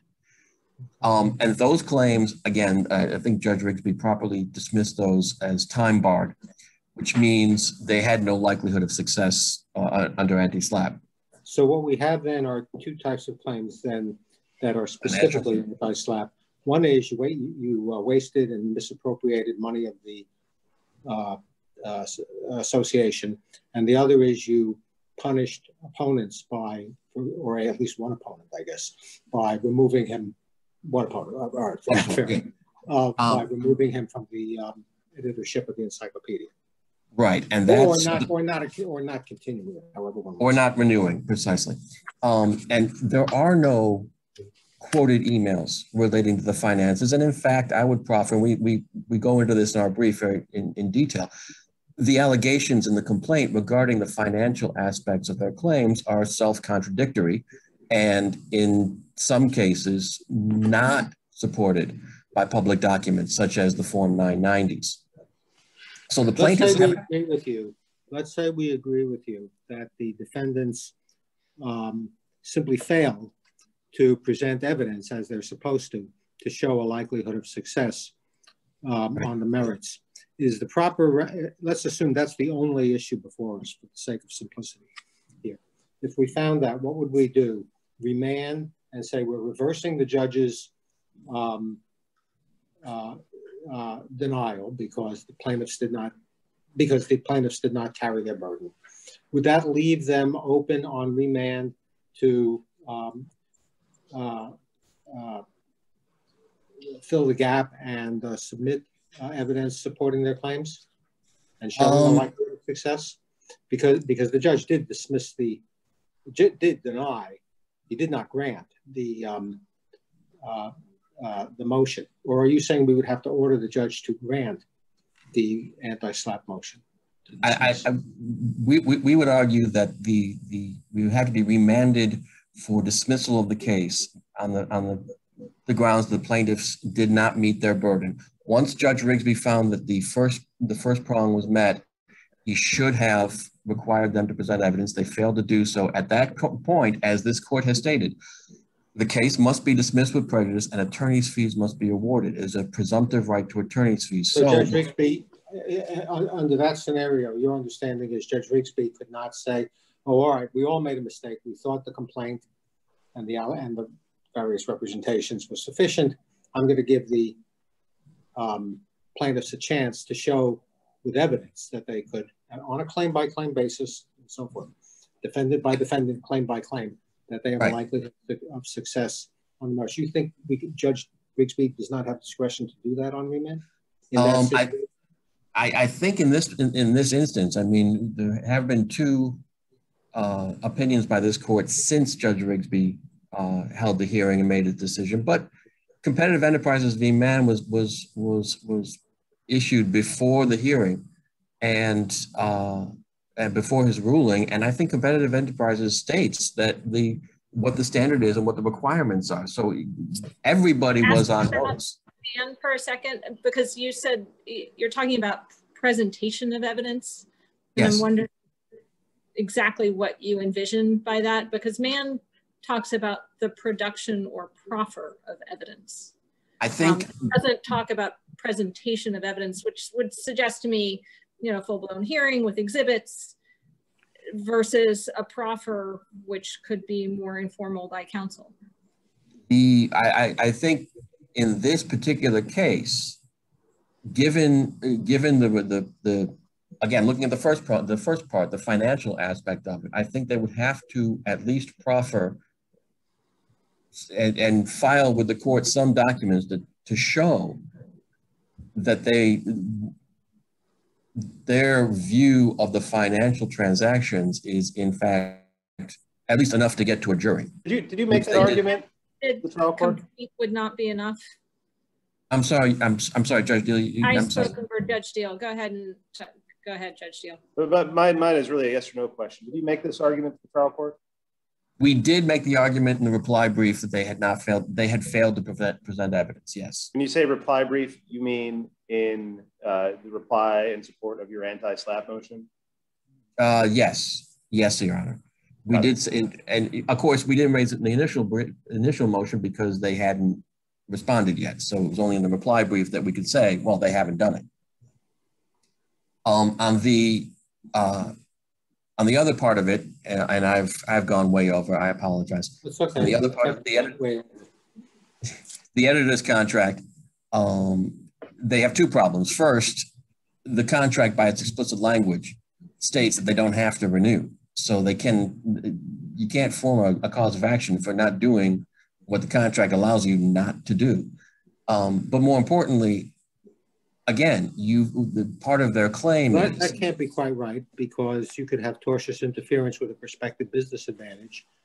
Um, uh, but I mean, all of the all of the uh, defendants purportedly according to the complaint all the defendants acted in their capacity as members of the national council we won't get into the fact that by the time these oh, things oh, happened oh, half, the, okay, right. half the defendants weren't members um, but so you, the corporation can't conspire with itself that's that's a that's a basic um, but still the their argument to, it's a lesser part of the complaint of, of that particular account but part of their theory is that the editorship was a vital, vi uh, valuable, and vibrant uh, element of ASA's operations.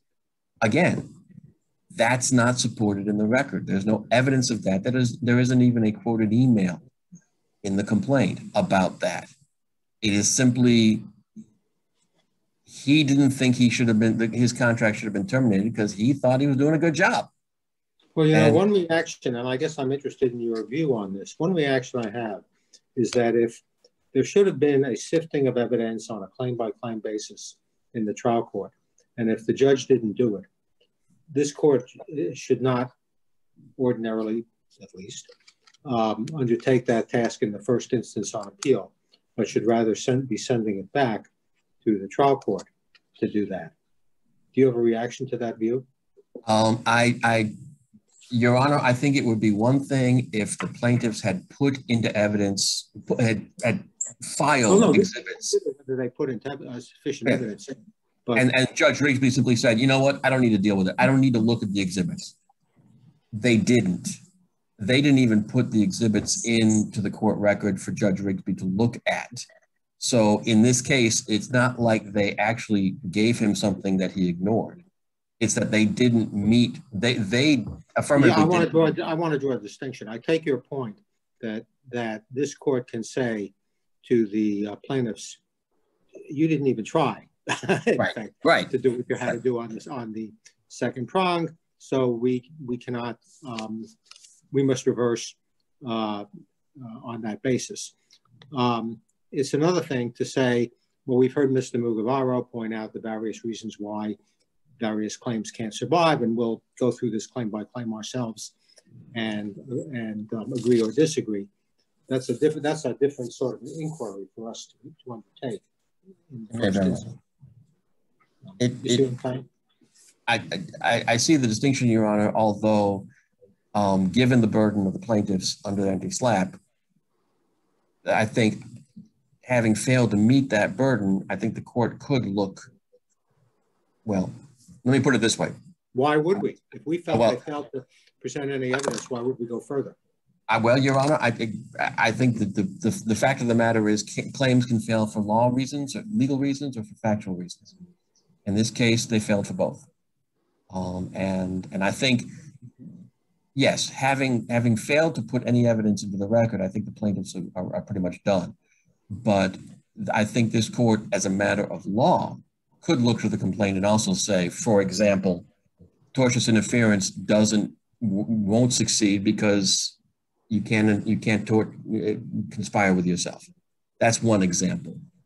Um, I'm I'm I'm going to shut up now and, and, and yield to Ms. LaHood before I get in any more trouble with her. Thank you, Your Honors. You're welcome. Ms. LaHood? Thank you, Your Honors. Maria LaHood for Defendant Salaita. Um, I would like to address some of your initial questions about the first prong of the Anti-SLAPP Act. I don't think that it's plaintiff's claims that you look to because the Anti-SLAPP Act says it's the alleged act from which those claims arise. And I think the broadest, uh, the best case to look to for, for that, uh, for the phrase arising from is actually one we cited in our brief. It's Algernon Blair. It was from this court um, from 1989, saying it's well settled that statutory language employing the phrase arising from accepts a broad, general, and comprehensive coverage. Causation is not required. It's enough that the claim would not have arisen but for the presence of the asserted predicate.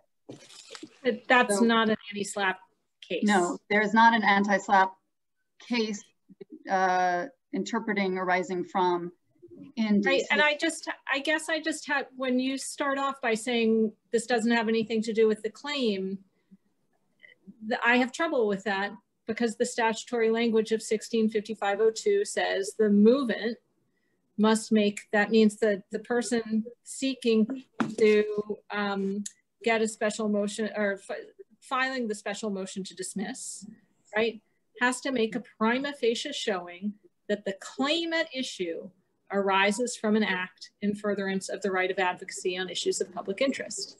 And it seems to me we know what claims are, right? Claims are the things that you put in your complaint. And you say, well, I have this many claims, right? And then the act that arises um, arises from, and then we have act in furtherance of the right of advocacy on issues of public interest, and that is defined by statute, right? So, well, the ahead. first answer is that the statute actually defines claims, and in that definition, it includes complaint. It includes causes of action. It includes other kinds of claims. So I think you can have a case like this from which the entire complaint arises from one act. But I can also, I can talk about the various acts. If you want to look behind the, the boycott resolution, I can also talk about those acts. But first, let me just talk about this court's decision, recent decision in Saudi American Public Relations Affairs Committee, in which the courts, the court mentioned the three claims at issue once and then it never mentioned them again. It went straight to the nucleus of facts, and it didn't even analyze those statements um, individually. It lumped them together and talked about how they were made in the context of the larger policy. Um, well, if, if, I remember right, this issue about whether or not the claims arose from uh, an act in furtherance of advocacy was not teed up for the court. So it doesn't surprise me that we didn't dig into this. Uh, is that right? That there was no, this issue was not raised in any way? The court wasn't concerned with it? The, the plaintiffs did not challenge that this was, the academic boycott was a matter of public interest. But they, there was there was briefing on whether the act applied. I'm, I'm sorry, I, I, meant in Saudi America. Oh, sorry. That's okay. Um, the whether they, that they didn't allege that the, there, the there, there was no argument about whether or not the claims arose from uh, an act of public public advocacy, whether or not the Anti-SLAPP Act applied under that term. So, so I mean, well, I guess was, I'm just saying, I don't certainly about whether it was a public interest. It was whether it was connected to the public interest. And sure. if you look at the definition in the in the act, you know, an act in furtherance of the right of advocacy means one of four things or three things. Each one of those talks about in connection with an issue of public interest. So both of these so if you look broadly at what's in you have to have speech in okay. a certain forum, right? And so, so I mean, in right. in the Saudi Arabia case, which I find fondly call SAPRAC, um, it was a blog post, right? And it was so a defamatory blog post, and then there were other other claims in relation to the blog post, but it was speech to the world in an unquestionably public forum, right? On the internet to the world, right? Whereas here we are talking about actions taken within an organization that are alleged to have violated bylaws and rules of corporate governance. And, you know, you can say this is all about the resolution, but the fact of the matter is that if you know, assume that these these things happened, these bylaws were breached, um, or assume that they didn't happen, right? Then these people don't have those claims, right? They're, they're, maybe they're, the speech is the downstream event, but their objection that they are coming to court to seek redress for is the fact that the organization has been co-opted in this way and they wouldn't be able to come to court and make those objections if in fact, you know, everyone had disclosed on their platform for election that they really wanted to support this election, the, this resolution, right? And if they hadn't closed the voter rolls on the day or the membership rolls on the day of the election, right? It's, it's all about the process. It's not about the speech that comes after. I, I think so let me address what are the underlying factual allegations underlying the claims. So I represent Dr. Salaita. He, just before you before you do that, can you set the table for me a little? Is your response that this is a factual inquiry? That what arises from a claim that arises from an act of speech is, is, an intensely factual inquiry? Is that the premise that you're starting from? No, I think you look to the alleg if if you don't accept that the boycott resolution, which is the reason this case is brought, satisfies the act that you need, then you look to the the actual. I think everyone agrees. We, I think everyone agrees. All parties agree that the resolution satisfies the act requirement. Oh. That's not the issue. The issue right. is whether the issue is whether the claims here arise from okay. that. So May I ask you a question or two? Can I, but I would like to answer the question about arising from, about whether they arise from, but yes. Oh, okay. I wanted to do it before we get into the facts here, but go ahead. Oh, go ahead. No, go ahead. No, go, go, uh, that's, I don't want to, go ahead. I can wait. Okay. So if you look at the plaintiff's only specific factual allegation against Dr. Salaita is his advocacy for the 2013 boycott resolution as evidenced by a 2014 op-ed that he wrote. So that is obviously, uh, and that op-ed said he worked closely with, you know, or worked with US ACB closely during the process of the, to pass the ASA resolution. That is advocacy he did was communicating views to members of the public on an issue of public interest. So count 12, which is for his advocacy, arises from his statements to the public and, you know, they don't even, he wasn't on the National Council at this point. He was what they allege, uh, you know, part of US ACB, who was advocating for the boycott and advocated the ASA to pass the boycott. So that is, is square within the anti-SLAPP law, even if you go behind the boycott resolution.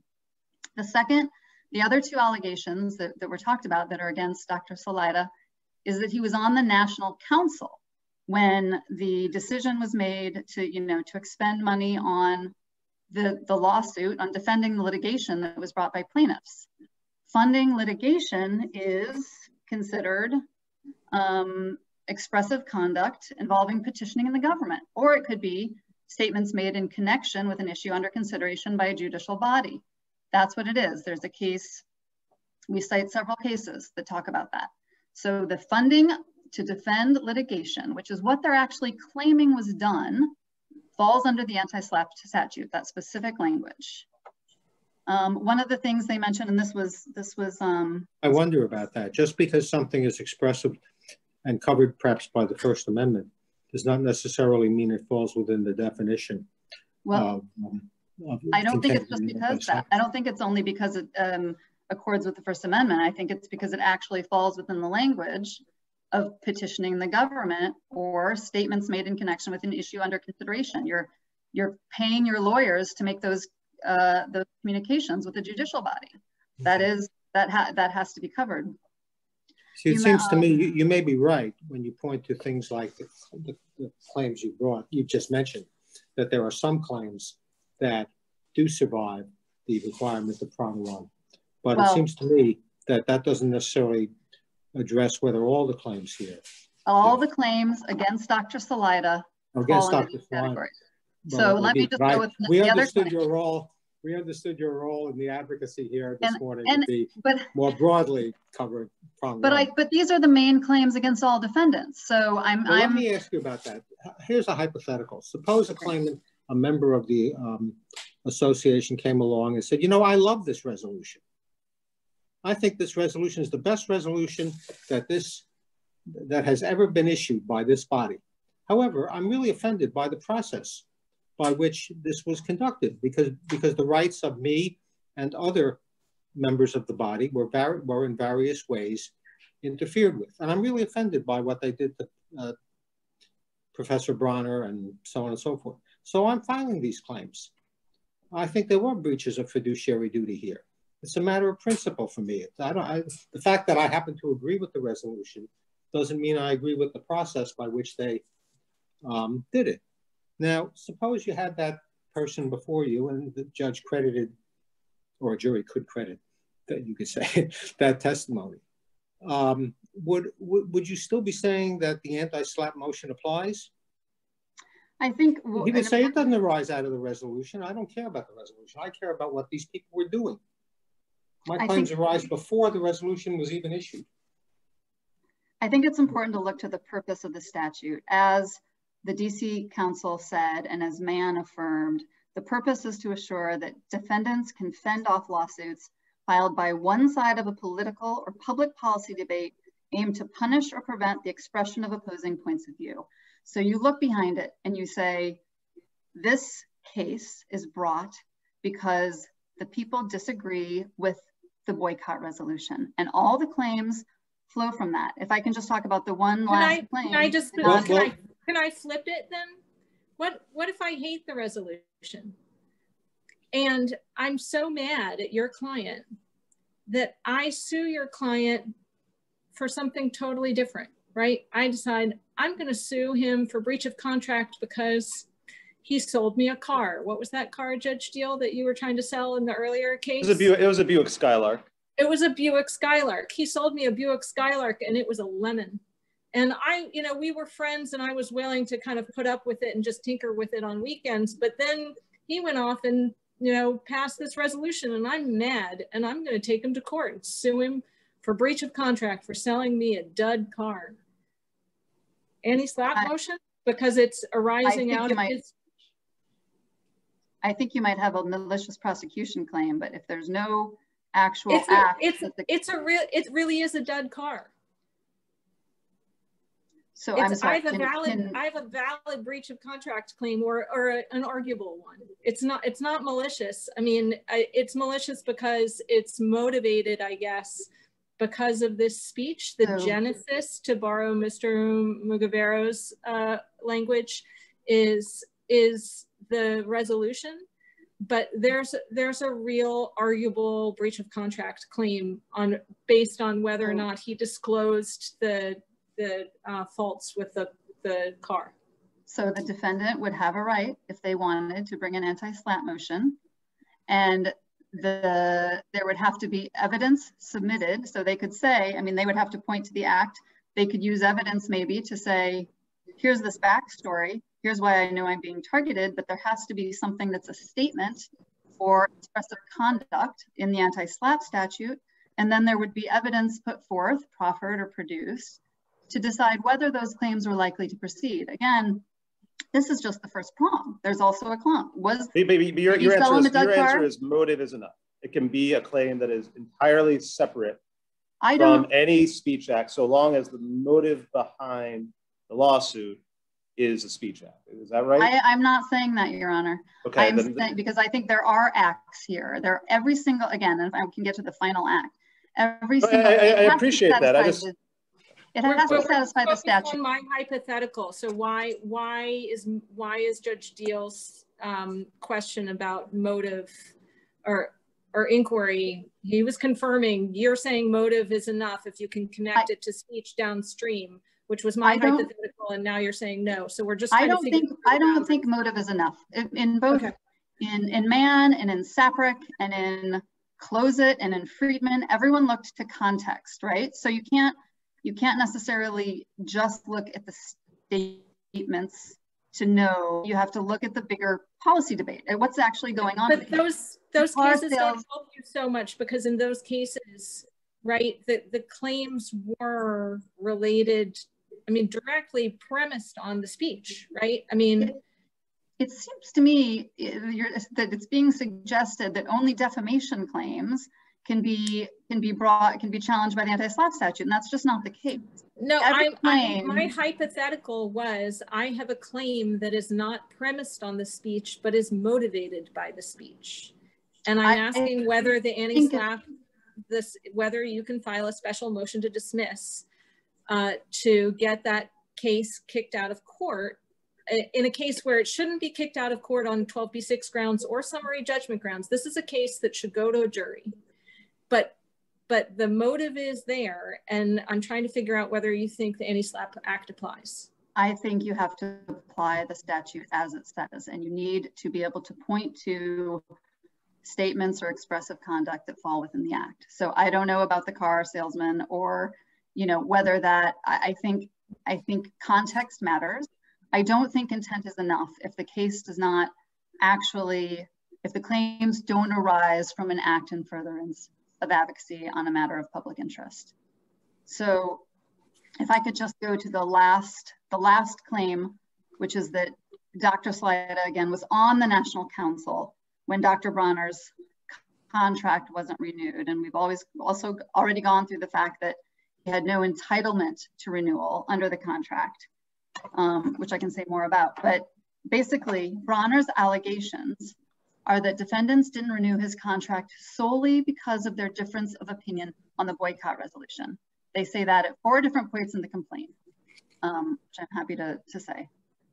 So the factual allegations that Bronner purports support his claims are that defendants spread false statements that he conspired to undermine the ASA because he opposed the, opposed the resolution. His own factual allegations supporting his claim uh, of non-renewal of the contract, which were for breach of fiduciary duty and tortious interference, are essentially a defamation claim. They're that the, that the defendants, not Dr. Salaita, but the defendants indiscriminately spread false information about him to the public. Those are clearly claims under, under the Anti-SLAPP Act. The, and, I, and again, I think here you look to the, you know, the in connection with an issue of public interest. SAPRAC you know, even though there were statements that focused on the plaintiff as an individual, the court found they were made in the context of a firestorm between two competing Middle East special interest groups. This was a firestorm around the boycott resolution. Um, you know, the it's not just that Bronner only sued people who are involved in US ACB and no one else.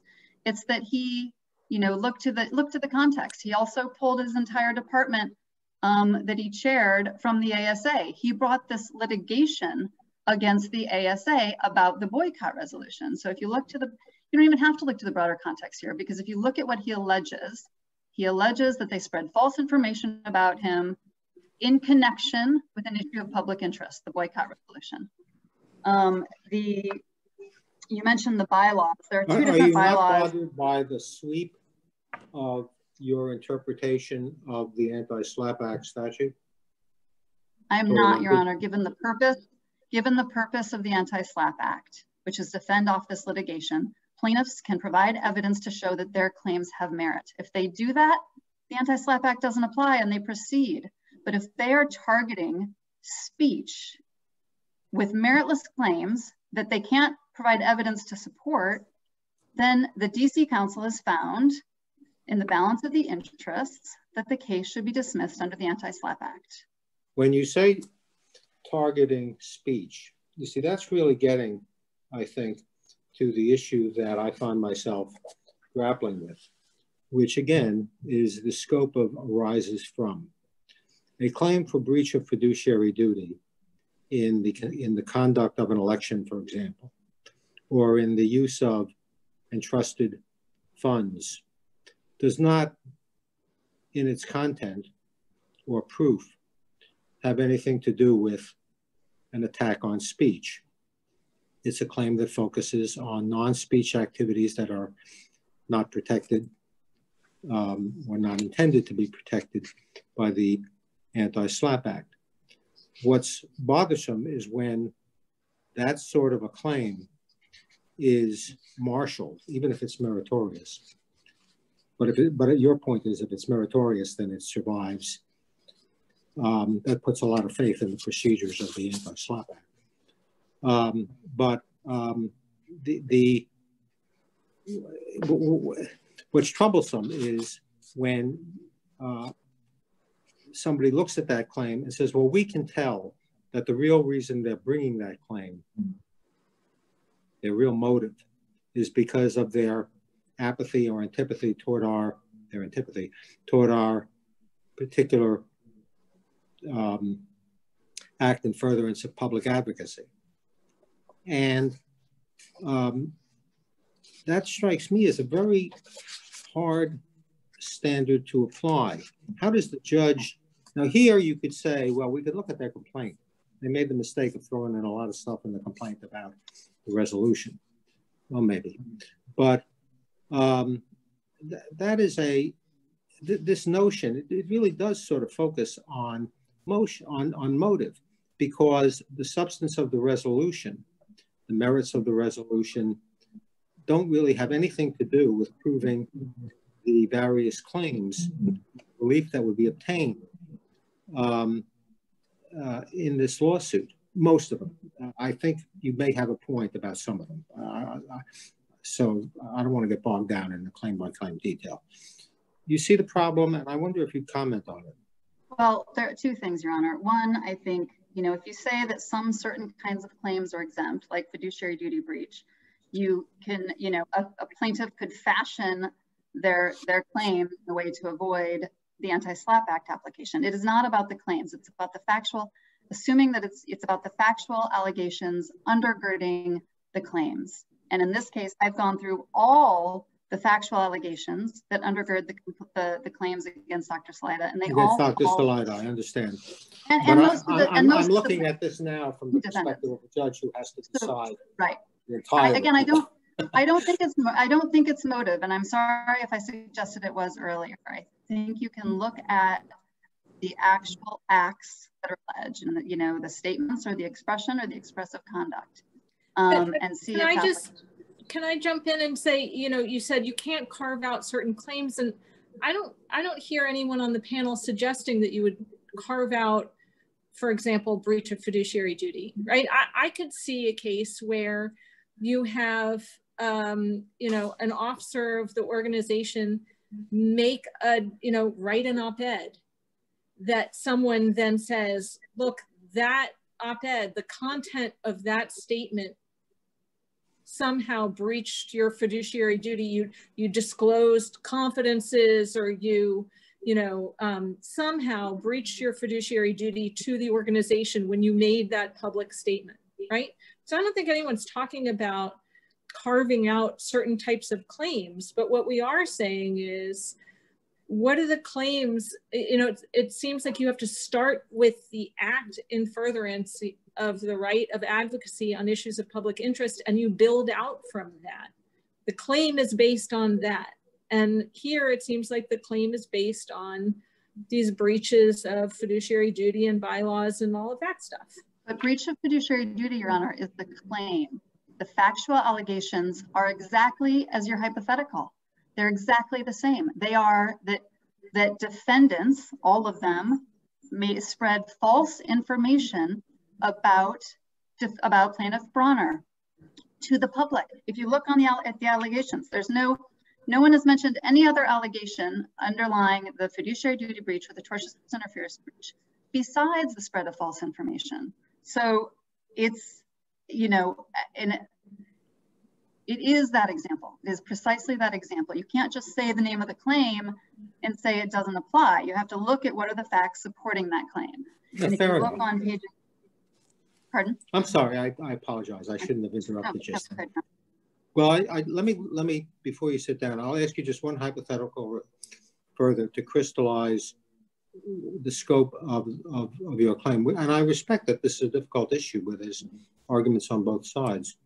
Um, so suppose money is entrusted to the um, officers of the association and money is entrusted saying this money is to be used for the encyclopedia and um, you know the parties we have at which all the members get together and for a few other purposes and the officers say, you know, we have a really good use for this money that it really was not intended for, but we have a really good use for it.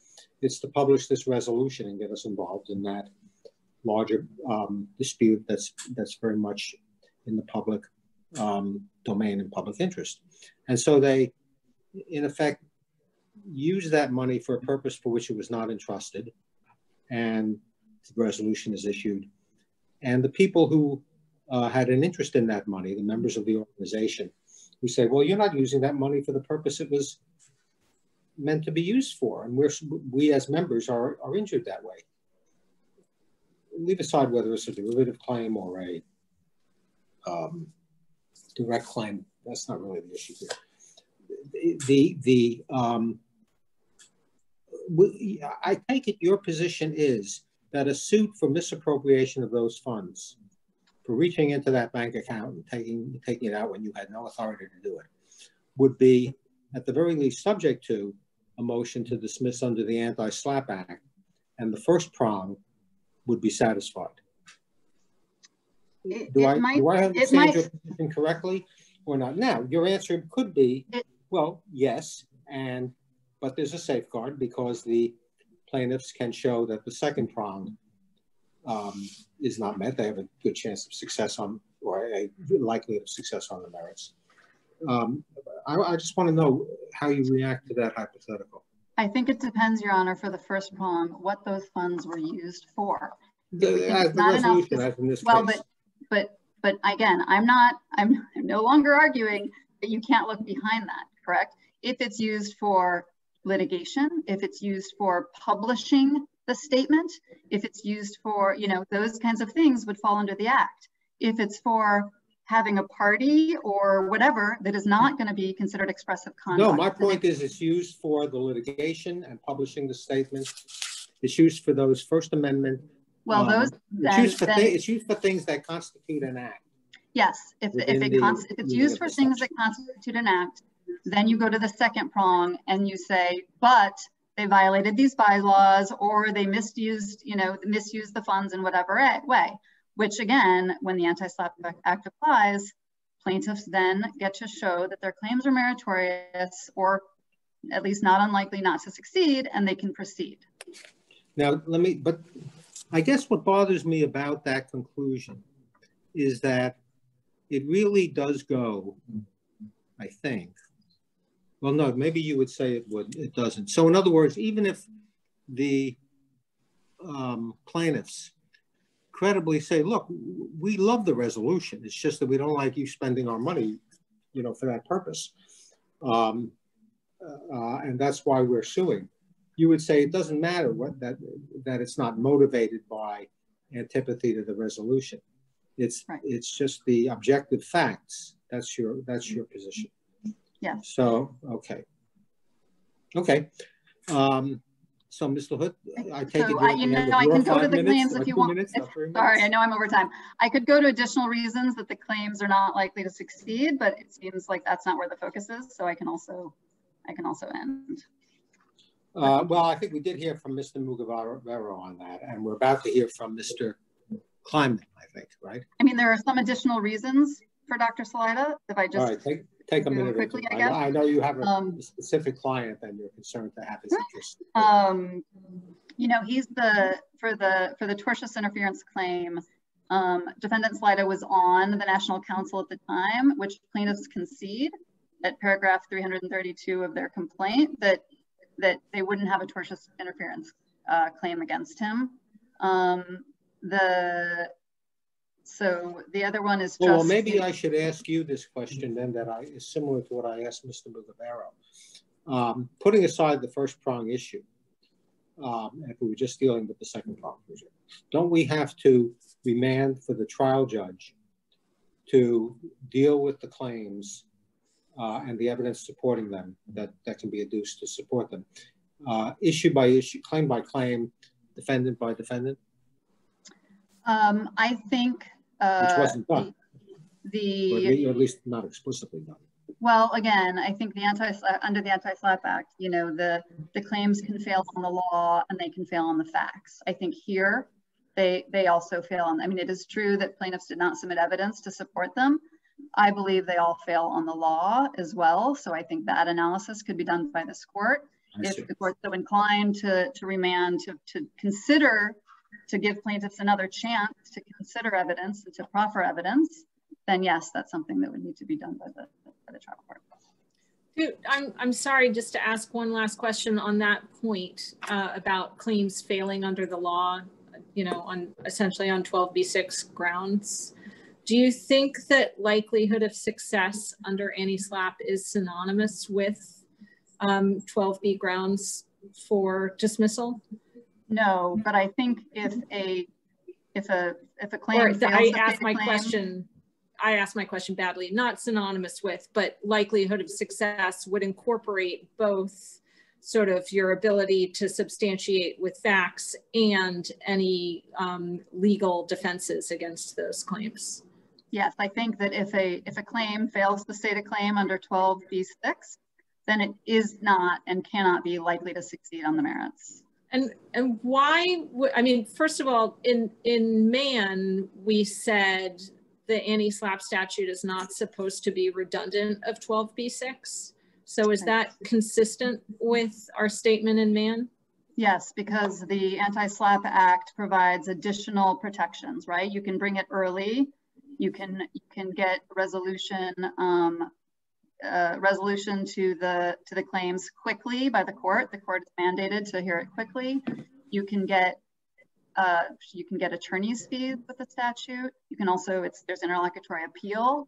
So there are various ways that the Anti-SLAPP Act offers protections that are not covered by by 12b6. Right, but we didn't make the statement about redundancy in those con in the context of talking about attorney's fees or earlier relief, right? We were we were talking about the need to present evidence to, to um, respond to the prima facie case, which just suggests to me that we were envisioning the anti-SLAPP uh, statute as providing sort of a, a different quality of protection separate and apart from the procedural protections that are available under 12b6. Right, that's, you know, the evidence part is what makes it more like Rule 56, but it's obviously not a substitute or you know for rule 56 either. I think it's a it's a blend so that you can use 12 you know you can say that this that the allegations fail in the law but if plaintiffs provide evidence then you need to contend on the level of of the evidence. So you need to do what's essentially a rule 56 review. So I think right, but you see, not... you see where I'm going. I mean, this is an open question, I think, still in our jurisdiction, how to interpret the statute and whether we say hey, these sort of procedural defenses that you could raise under a 12b6 motion that have nothing to do with the, the quality of the claim um, can be raised under a special motion to dismiss and can generate attorney's fees. We've not said that yet, right? But you no, think we should... In, well, in Mann, You said that it, it includes, you know, claims and defenses, right? When you look to, um, I guess, and that was in the context of whether uh, a case. But those were substantive defenses to to defamation, right? I mean, it's whether or not someone's a public figure or whether, right? Am I wrong about that? I, but I think it said, you know, as opposed to procedural. I think here we're talking about the substance of the claims. We're just not necessarily talking, we're just saying that you can decide them on the law or you can decide them on the facts. Clearly, at this stage, we went on the facts because plaintiffs didn't supply any evidence whatsoever. So we could stop there, but we're saying they also fail in the law. That means that they're not likely to succeed on the merits. There could be procedural, you know, procedural arguments that, that wouldn't satisfy that. So, so in that way, 12b6 is different from, from anti-SLAPP as well.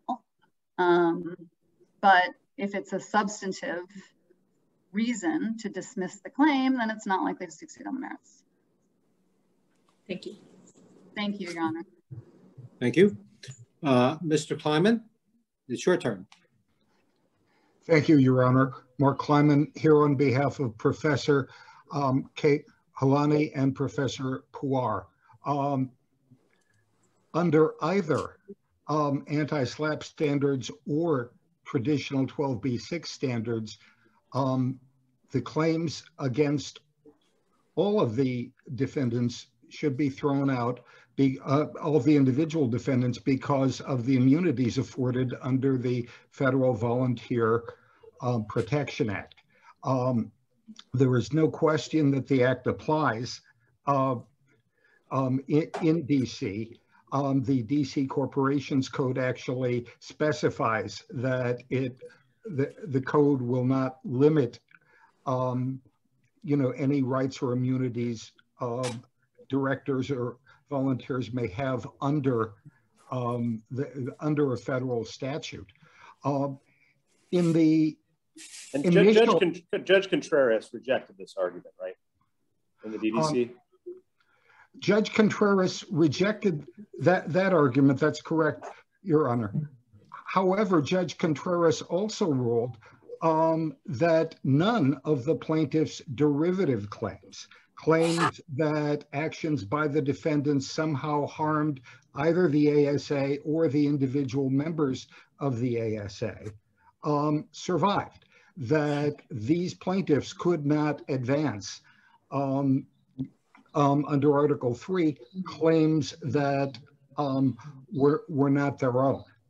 Um, yet Judge Rigsby below in the Superior Court used precisely the, the argument of derivative claims, which the plaintiffs are collaterally estopped from litigating um, to hold that the anti-SLAPP statute um, doesn't apply. Excuse me. Right, it, it, sounds like you're making a good for the goose, good for the gander type of argument. You know, if you messed up one way, then you should mess up our way too. Uh, I, I, guess my question is, what is your view or response to Mr. Marcus's argument that we shouldn't revisit the immunity question, seeing as how it was decided by the DDC? I think there was an opportunity to appeal it, given that you guys did take an appeal uh, to the DC Circuit in that case, uh, and, and it never raised that issue. Um, the, the immunity question as ruled, by, as ruled on by Judge Contreras, as we understand it, was um, uh, essentially mooted um, because, you know, because of Judge Contreras's findings that there were no derivative claims possible. So the underlying factual premise um, is, is different in the Superior Court than it was um, in, in, the District Court. Had Judge Contreras gone on to rule on the, mer the merits of the um, derivative claims um, and to say that those claims were not um, um, pr protected under the um, VPA, then we would have, I agree, then we would have a different situation but that's not what we're confronted with. So um, it, it, it's, our, it's our position that once the um, Superior Court motion to dismiss was ruled on, um, it we should have gotten once the um, once the claims alleging um, derivative harm to either the ASA or its members were um, precluded. Um, there's no way under the law that Judge Rigsby could then um, return to those claims which cannot be advanced and say that these are somehow beyond the purview um, of the Volunteer Protection Act. Um, the other piece of this statute, which I, I think is very, very central to this, is that the VPA requires a showing that there was an intent to harm individuals. Um, and that, you know, without a showing that there was an intent to harm individuals, there's no way to get out from under the immunities afforded by the statute, which um, is, according to its own terms, in, intended to be um, interpreted broadly to, to afford protection and to encourage people to participate in voluntary and nonprofit organizations. Mr. Um, Kleiman, one thing I wonder is whether, given that Judge um, Rigsby did not address this argument, whether we should be addressing it in the first instance, or whether it should be addressed on remand. Uh, if it were to be, if it were to be addressed on remand, um, I, I'm not, I'm, I'm not certain, Your Honor, that it would be fruitful to have it addressed on remand for the simple reason that the plaintiffs are collaterally estopped from asserting derivative claims. So, uh, well, right, I, I understand. I'm not I, I sure. Mean, yeah, you may have a 12b. You may have a 12b6 motion here rather than simply a summary judgment motion um, on this ground. What this was this was part of our this was part of our 12b6 motion, Your Honor. Um, so but the 12b6 motion itself is not. I mean, if you think of it in isolation, let's put it that way, mm -hmm. it's not appealable at this time. That's this, right. be, this being an interlocutory appeal limited to the um, uh, denial of the anti-SLAPP motion to dismiss. Oh, I, I would go back to what my colleague Ms. LaHood pointed out, which is that if something, if a cause of action is barred by 12b6, it's challenging to understand how um, the plaintiffs could possibly demonstrate a likelihood of success, which is the anti-SLAPP standard um, given the fact that they're barred from, um, from proceeding with the claim in the first place. How far do you think that proposition can be pushed? Suppose there were a 12b6 motion in which that is purely procedural in nature. Um, the, the, motion say says um, service of process uh, was uh, was inadequate, the, the claim should be dismissed, or personal jurisdiction. Um, is it your view that regardless of the ground for granting the 12B6 motion, the court must still consider whether um, the anti-SLAPP motion to dismiss based on those claims should be granted as well because of the availability of attorney's fees, or perhaps you have some other reason why you would say that? Well, um, first of all, the the answer, uh, my answer to that question, Your Honor, is yes. Um, so regardless of the ground on which the 12, suppose that, suppose, I mean, sometimes, uh, well, all right, go ahead. Okay. Yeah, I mean, I the literal words of the statute are likely uh, likelihood of success. Yes, but we've suggested that that's some sort of term of art right? And, and I guess I'm wondering why on earth would that serve the purpose of the statute? If I have a winning defamation claim, but I, you know, fail to serve my complaint properly, um, but substantively it's a winning claim, why, why would anti-SLAPP apply to that? What, well, uh, this goes back to the question of what the motivation for bringing um, the winning defamation claim was. and whether I don't think it does. I think for, that yeah. I think you're skipping to a different issue. I think we're we're just talking about what likelihood of success means. And and my thinking was that likelihood of success was really related to the essence of the claim and whether it was um, you know, a claim that was trying to silence speech, you know, legitimate speech. But if I have a winning defamation claim that just loses for some other reason, a procedural reason, um, I, you know, I don't understand why why the putative defendant should get attorney's fees for that. I wasn't trying to silence legitimate speech. I was trying to defend myself against defamatory speech in my hypothetical. Okay, well, I, perhaps I'm misunderstanding something, Your Honor, but I have a hard time dissecting um, the idea that this is a de defamation claim from why the claim is being brought in the first place. Because if the claim was not being brought in an effort to retaliate or silence, um, uh, you know, um, speech about a matter of public interest, um, we wouldn't be there. Um, the, the idea of an anti-SLAPP statute is that plaintiffs don't get to drag people into court um, on claims of questionable merit because of their speech act. If a claim is obsolete because of the statute of limitations um, or other grounds, and somebody is dragged into court um, on a defamation action, are they in any way um, less inconvenienced, expensed, um, chilled in terms of future speech because um, the problem was procedural rather than factual? I don't think so. Um, the duty of the plaintiff is to bring a claim that A, has some uh, likely basis of support, and B, is procedurally sound.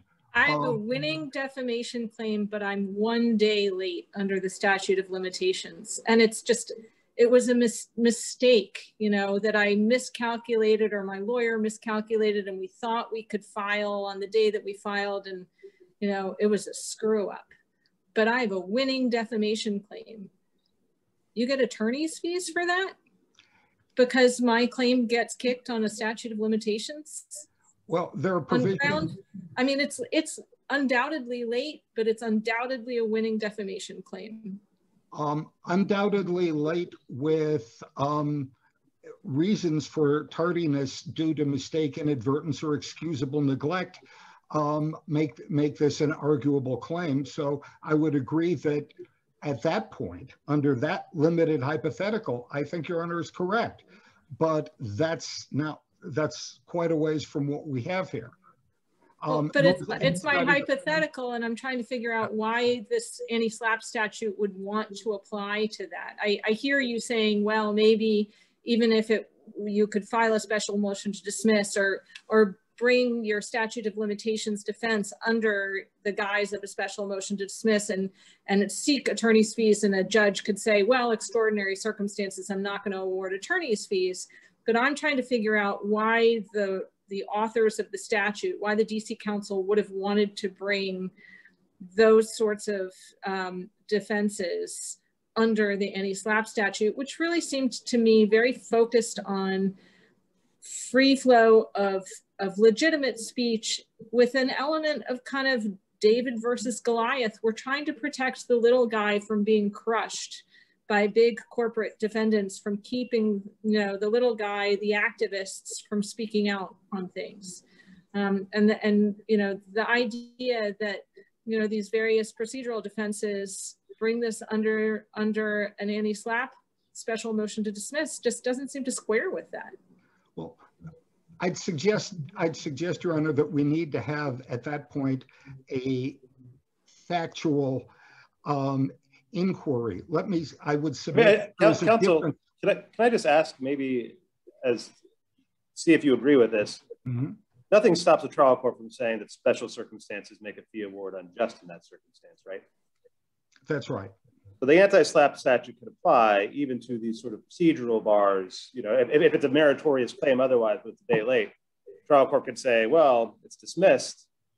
Anti-SLAPP statute applies, but I'm not going to award any attorney's fees because when I look at it, this thing was a dead winner. You just got it in a day late.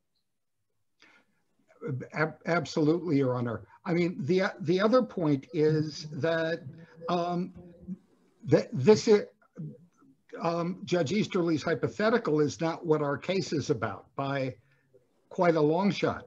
Um, we have we have a case where it's not a procedural objection to um, you know the plaintiff's claim. Um, it's the fact that um, there was a judicial determination after ferocious advocacy on both sides that um, derivative claims couldn't be pursued as a matter of law. That's substantive. It's not a procedural matter. Um, so it's it's it, uh, it it's an interesting inquiry and one that I can see why this court would um, be concerned with, but it's um, not a grounds to deny relief to the defendants in this case.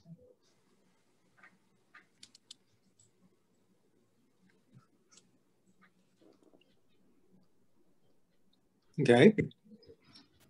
Are you, uh, you, you've used up your two minutes. How did that happen? I, I think I, I, I, I, think I have, Your Honor. I, I, um, I, I did have a, a, a couple of um, other um, brief remarks that are specific to my clients if the court has a moment. Um, we'll give you we'll give you a moment. I realize you're representing specific individuals that uh, want to be. Uh, thank you, Your Honor. This um, the as to the specifics of uh, Professor Bronner and the editorship, because he is the one person who um, has an allegation uh, that uh, he was directly injured. There are two things that need to be noted about, about my clients. The first is that um, Professor Puar was never on the national um, um, commit, the National Council of the ASA. Her term on the nominating committee ended three years, more than three years actually, before this matter ever came up for review. Um, the idea that she had anything to do with any of this um, is really a, quite a stretch. Um, nor, and there's certainly no evidence to support it. And um, the other point being that Professor Kehaulani's term ended before um, uh, Dr. Bronner's contract expired. Um, so it's it's not clear um, what either of them could or should have allegedly done about this under any circumstances. And of course, since there's been no evidentiary showing, we never had an opportunity to um, discuss that uh, at the lower court. Okay. Um, we will give uh, you'll have to think among yourselves how this would work, but we will give you some time for rebuttal. Let us hear now from, um, uh, excuse me. Uh, uh, well, actually, the name I have here is not quite what I expected to see. Are we hearing from Mr. Marcus? Yes, sir. Okay. Can you hear me? I can hear you. Let us hear you from you, Mr. Okay. Marcus. Thank you. Um, I, I think I there are a couple. The reason I said what I said is my my um, list of participants lists uh, Jennifer Gross, who I take it is not arguing. Is that right? Uh, did you hear me?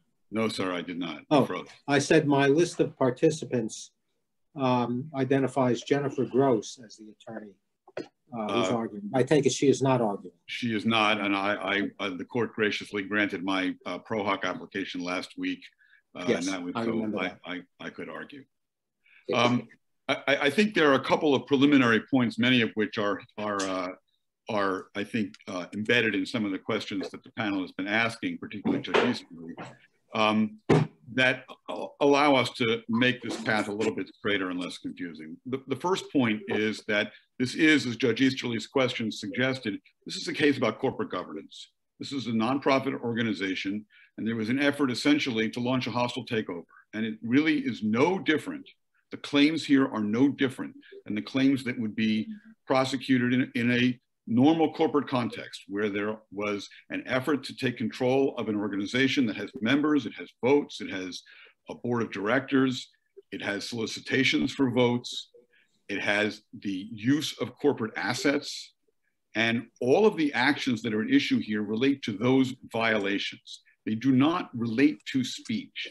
And the way you can tell that is that the DC legislature has given us, the DC council has given us help here. We're not, we're not just trying to decide what the right answer is on a blank slate. There's a statute, and the statute says uh, in two different sections, it gives us a lot of useful information. The first thing it says is that a party may file a special motion to dismiss any claim arising from an act in furtherance of the right of advocacy. So what is a claim? And what is an act in, in furtherance of a right of advocacy? Well, happily, the statute defines those things.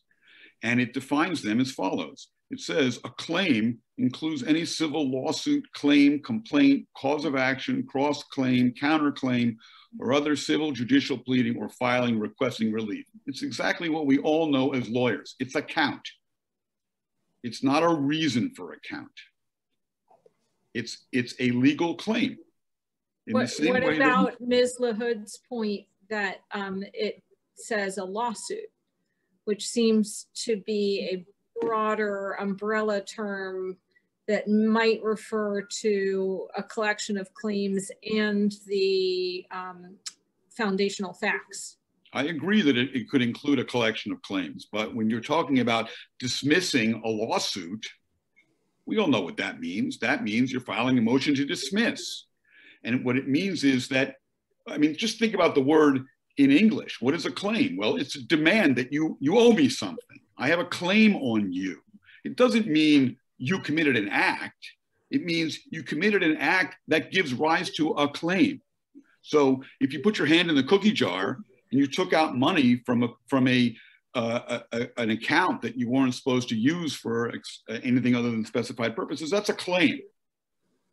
But it is a claim because it's a claim that gives rise to a claim for relief. And I think that's the right way to understand it. We don't have to torture the English language to understand it. And it makes sense of the statute that way. It also avoids all of the other problems that the court, I think, was was uh, confronting about, well, how much do we have to get into motive? How much do we have to get into why these people are here rather than those people? And here I want I mean, to take maybe, a little. Counsel, maybe, maybe we don't in this case because your complaint makes it quite clear that the impetus for it is their adoption of the 2013 resolution, without which there would be no claim or lawsuit. Well, it doesn't make, first of all, I don't think it does make that clear. And, so, and I'll adduce two important facts one of which is inconsistent with what all my friends have been saying, and the other of which is something that they've just ignored. And the two facts are A, there are plenty of people on the board that we didn't sue who have lots of the same opinions. And the second is that there was one defendant, Avery Gordon, whom we dropped as a defendant. If you Google Avery Gordon, you will find that she is a prominent advocate for the boycott, divestment, and sanctions uh, movement against Israel. We dropped her as a defendant because when we got their emails, we found out that she hadn't participated in the acts at issue that give rise to the claims. So we dropped her. We didn't sue everybody that we disagree with. That's just, it's a canard. It's just not so. There are plenty of people we disagree with that we didn't sue. Mr. Marcus, I, I think the problem is that one, one term, the anti-SLAPP act, uh, statute does not define is arising from or arise from. And the question before us, I think, comes down to, at least with, at least with regard to the first problem, the question before us comes down to how broadly or narrowly we define that term. So I think the Judge, right way... Judge, Judge um, Rigsby, for example, um, can be said to have given it a fairly broad interpretation uh, when he said that if it had not been for the, he said boycott, but he meant the resolution. If it had not been for the resolution, we wouldn't be here. And um, that's not a frivolous argument by any stretch of the imagination because we have case law giving a broad interpretation to words like arising from. And we do have a concern by the council to protect um, the kinds of advocacy that the resolution represents. So uh, I'm interested in your take on how broadly or narrowly how we should define arise from. I think it should be facts that give rise to a claim. And I don't think that incur that risks the problems because just as it's clear that here we didn't sue people who engage in speech just because they engage in the speech that we don't like. We only sued people who put their hand in the cookie jar or who disseminated false information in the same way that you would do it if there were a proxy contest in a corporate context. Well, I think one thing they're saying though is that you only sued the subset of people who put their hand in the cookie jar whose speech you didn't like. No. there's a whole lot of other people who put their hand in the cookie jar that you didn't sue. Uh, if they're saying that, I'm not aware of it, and I'm not aware of anybody who put their hand in the cookie jar that we didn't sue. We, we've, we've alleged there are improper expenditures made, and everybody who we thought was responsible for those improper expenditures, we sued. And if they weren't responsible for it, we didn't sue them. And I think that's one of the reasons that we dropped Professor Gordon. So it, it's just not the case that there are people who, I mean, I don't think there's anybody who, you know, uh, engaged in, in, improper financial expenditures, but wasn't a supporter of BDS. And so we said, okay, well, let's not sue them because they're our friends. can I just, can I just read in response to Judge Lichtman's question, the case that Ms. LaHood cites? I'm, gonna, I'm just going to read from Algernon for a second, where it says, it is uh, well settled that the statutory language employing the phrase arising from is broad. Granted, it's a different statute, but uh, the next part is it has been held to suffice where a claim is said to arise from some predicate, that there be a substantial connection or nexus between them, that's enough. Um, so, you know, if, if, there's a substantial connection between the speech, the 2013 resolution, and the claims that are being asserted, we might say that the claims arose under the reasoning in Algernon. Now, I suspect you have some distinctions or, or why we shouldn't read the SLAPP Act, Anti-SLAPP Act so broadly. Uh, but what, what's your response to that case's uh, rather broad interpretation of statutory phrase? My right? recollection is that in that case as well, the facts that were said to have a connection to the claim were the facts that gave the plaintiff the right to go to court. And I, I think that if you were to expand it beyond that and you start asking, well, why are these people really here? I mean, lawyers appear in front of courts every day for one reason, because they get paid. And we don't ever say, well, you're not saying that because you believe it. You're saying it because you're getting paid to believe it. We look at the merits of their argument. If the merits of their argument are valid, we adopt them. I mean, I think they've disavowed a let's look behind at the motive. I think they might even agree that we could stick to the face of the complaint. Um, and if that were true, that might solve your conundrum that, you know, if we stick to the face of the complaint, it sure looks like this is being motivated by the 2013 resolution. You don't think so? No, because no, for precisely the reason that I think animated some of the questions, which is if if if the res I mean, I guess one way of saying it is this: there are other academic societies that have adopted re these resolutions that didn't get sued, and they didn't get sued because they didn't breach their fiduciary duty on the way to doing it. And so, the question is not who am I paying attention to. The question is, what did I sue you for doing? And if there's a breach of fiduciary duty, we're entitled to enforce our clients' rights for, for breach of fiduciary duty without asking, excuse me, I'm sorry. Well, uh, without asking, well, why, why, Mr. Lawyer, are your passions engaged in this case? That's not an appropriate question. The question is, what are the merits of the claim? What is the claim based on? and and it's the not other like the complaint in this case doesn't have a lot to say about the resolution. Well, it doesn't have a lot to say about the resolution, and I think that's a point in our favor. We're not debating the, the merits of the resolution. We're not asking the court, I mean, in, in, previous rounds of briefing in this case, we've gotten hundreds of pages on the merits of the Arab-Israeli dispute. We're not here about that. We're not asking the court to decide anything about that. And I think it's also important to note that the only false information that we focused on has nothing to do with the merits of that dispute. In other words, we didn't say, oh, you promoted this resolution by saying false things about Israel or false things about the Arabs or false things about Palestine. That's not what happened here. The issue was just did you did you did you actively conceal your program when you were trying to get control of the organization? That's a that's a bread and butter corporate governance question. You've got people running for, I mean, there are people who are trying to take over or get seats on the board of a corporation all the time. and they issue proxy statements or they issue communications that says, this is what I want to do if I get on the board. And if those statements are false, they're actionable. And if Suppose there is evidence presented to the court that, irrespective of the merits, and the claims may have merits, but the motivation is in bad faith designed to um, interfere with uh, um, or, or penalize people for their public advocacy. Well, does that make a difference in, in your view? I, I think the, the rabbit goes into the hat. The, the act? I'm sorry. I, I, think the rabbit goes into the hat when Your Honor says in bad faith. I think is it a, is it is it in bad faith because the reason why these plaintiffs brought this case is because they didn't like the resolution? I don't think it is. As long as the claims are real claims, they're substantive claims. You don't only have to sue people you like. There's no that rule. Gets, that, that, gets you out of any anti-SLAPP Act dismissal. No, no, no, if, no. You, if you show any merit to it, you don't have to worry about it. Well, uh, first of all, there's merit and then there's merit. But I think the first the first prong is what are you suing them for doing? And that focuses on the claims. It doesn't focus on why do you really want to be here. There's no part of the statute that asks that question. What do you say to their argument that it would gut the anti-SLAPP Act statute to say that if you focus on the claims themselves, then you can very crafty lawyers can very easily uh, make legal arguments that do not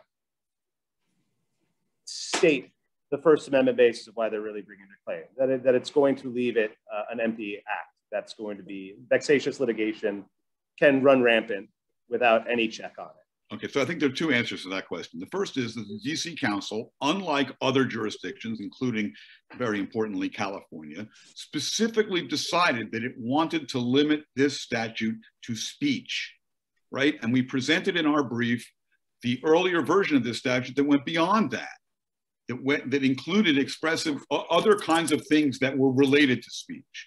And we showed in the legislative history that the legislature decided, no, we want to limit this to speech. That was the legislature's conclusion. So it seems to me if the legislature concluded that, then that's where the inquiry stops. And then the other way of understanding it is in the question about the sale of the Buick Skylark. If I decide to enforce my rights against somebody that I'm mad at for some other reason, I don't see why that's relevant. If I have rights, I have rights. If I don't, I don't. And we don't ask why you're here. I mean, I, I, it's a general matter. You have no obligation to only sue your friends. And, and I think the, the suggestion that we're suing these people because we don't like them is not asking the right question. The question is, what did you sue them for? And does the case have merit?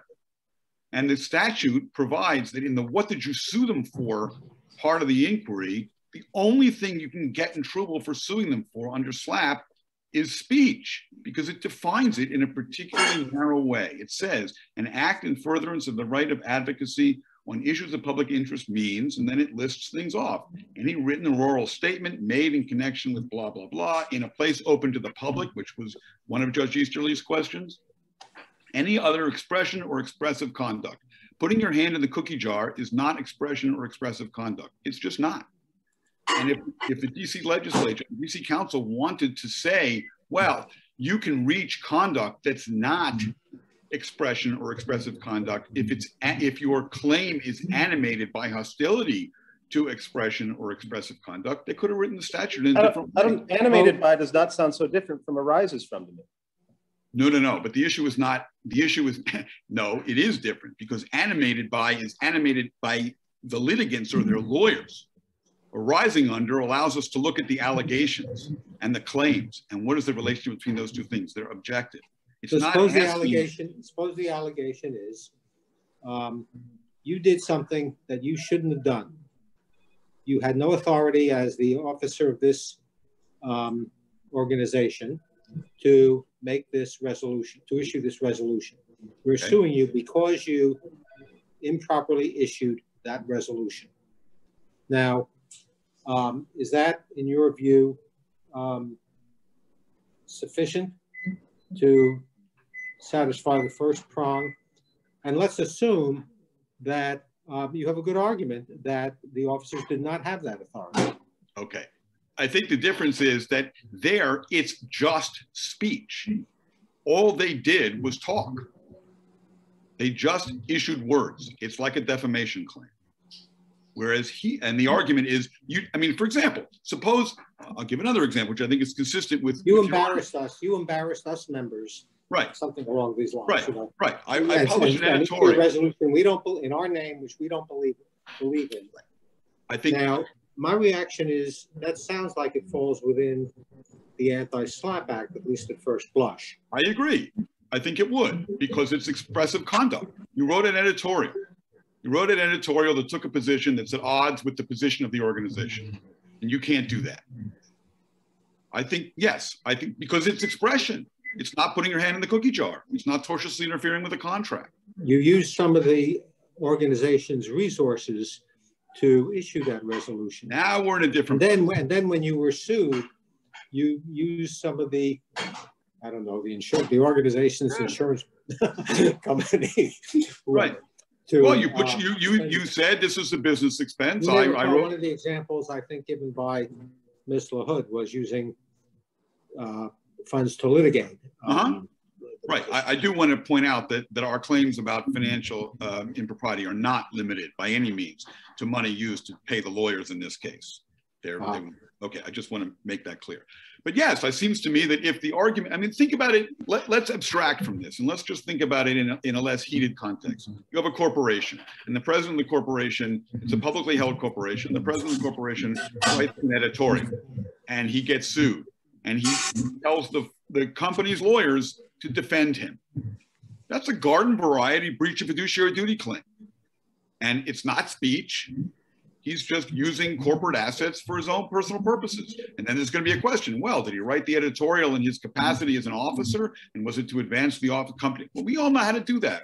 We, we know where we are in that context. No, there's no great amount of creative lawyering required to, to work our way through that problem. But this, the legislature here has given us a distinction. It said speech is covered, not speech, not covered. So yes, I think that if they simply issued a resolution and said, we think X about uh, Israel and the Arabs in Palestine. Yes, I think if we had sued them for that and said, you breached your fiduciary duty by speaking on that topic, I agree, that would be covered by the SLAPP Act. But that's not what we sued them. for. There's no So- part of I, I think I, well, I started to count how many times the resolution is referenced in the complaint and I stopped after a hundred. Okay. So, so we just ignore that? No, you don't have to ignore it. The question is, what's it doing there? In other words, is it there because we said this resolution really stinks and and and therefore you owe us money, mm-hmm. or is it there because they we were talking about the re- resolution and the question was, you put up the resolution for a vote, you counted the votes wrong, you froze the voting rolls, and then by the way, you ultimately had a vote about the resolution. That's the third time I've mentioned it, and you didn't get two thirds, and you said the resolution passed. That's the fourth time. So yes, if I mentioned the resolution in the context of saying the rules required a two-thirds vote, you didn't get two-thirds and you said you won, yes, I'm talking about the resolution. Mm-hmm. What isn't in the what isn't in the complaint, Your Honor, and I think this should allay Your Honor's concerns, what isn't in the complaint is the substance of the resolution. In other words, we're never complaining about the resolution said X, but it should have said Y. But, but isn't the fact if the claim itself is frivolous, if it's meritless, isn't that pretty strong evidence that the basis for it is the one that jumps off the page? So let, us say that the argument was they needed 100% of the vote to pass this resolution, Mhm. and that that was plainly inconsistent with the bylaws, and that was the only claim you had made. I would think they'd be able to say, look, this claim really arises out of the passage of the 2013 resolution, and you should dismiss under the Anti-SLAPP Act because this other thing is just a total pretext that they're using to vexatiously litigate that issue. My answer to that is, no, they should not be able to do it under the anti-SLAPP Act. They should be able to do it under Rule 11.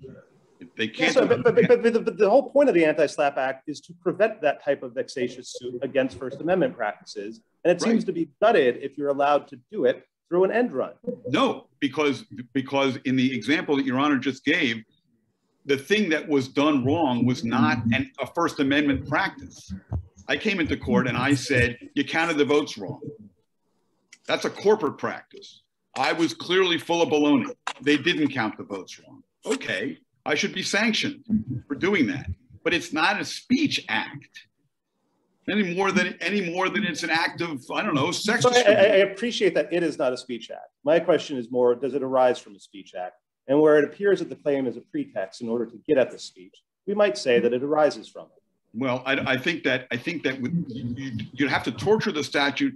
Look, I understand. I don't think that's a tortured use of the word arises from. We said substantially linked in Algernon uh, was enough.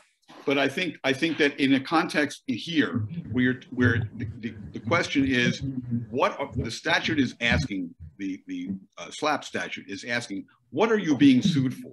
And the, the, it's clear that what the what the legislature principally had in mind, and the vast majority of these stat claims arise under, is a defamation claim, or something like that, a false light claim, where you're talking about words. and I, but I, am suggesting that formulaic approach to the anti-SLAPP statute is going to be a very ineffectual SLAPP statute. No, and I'm suggesting that that's not correct.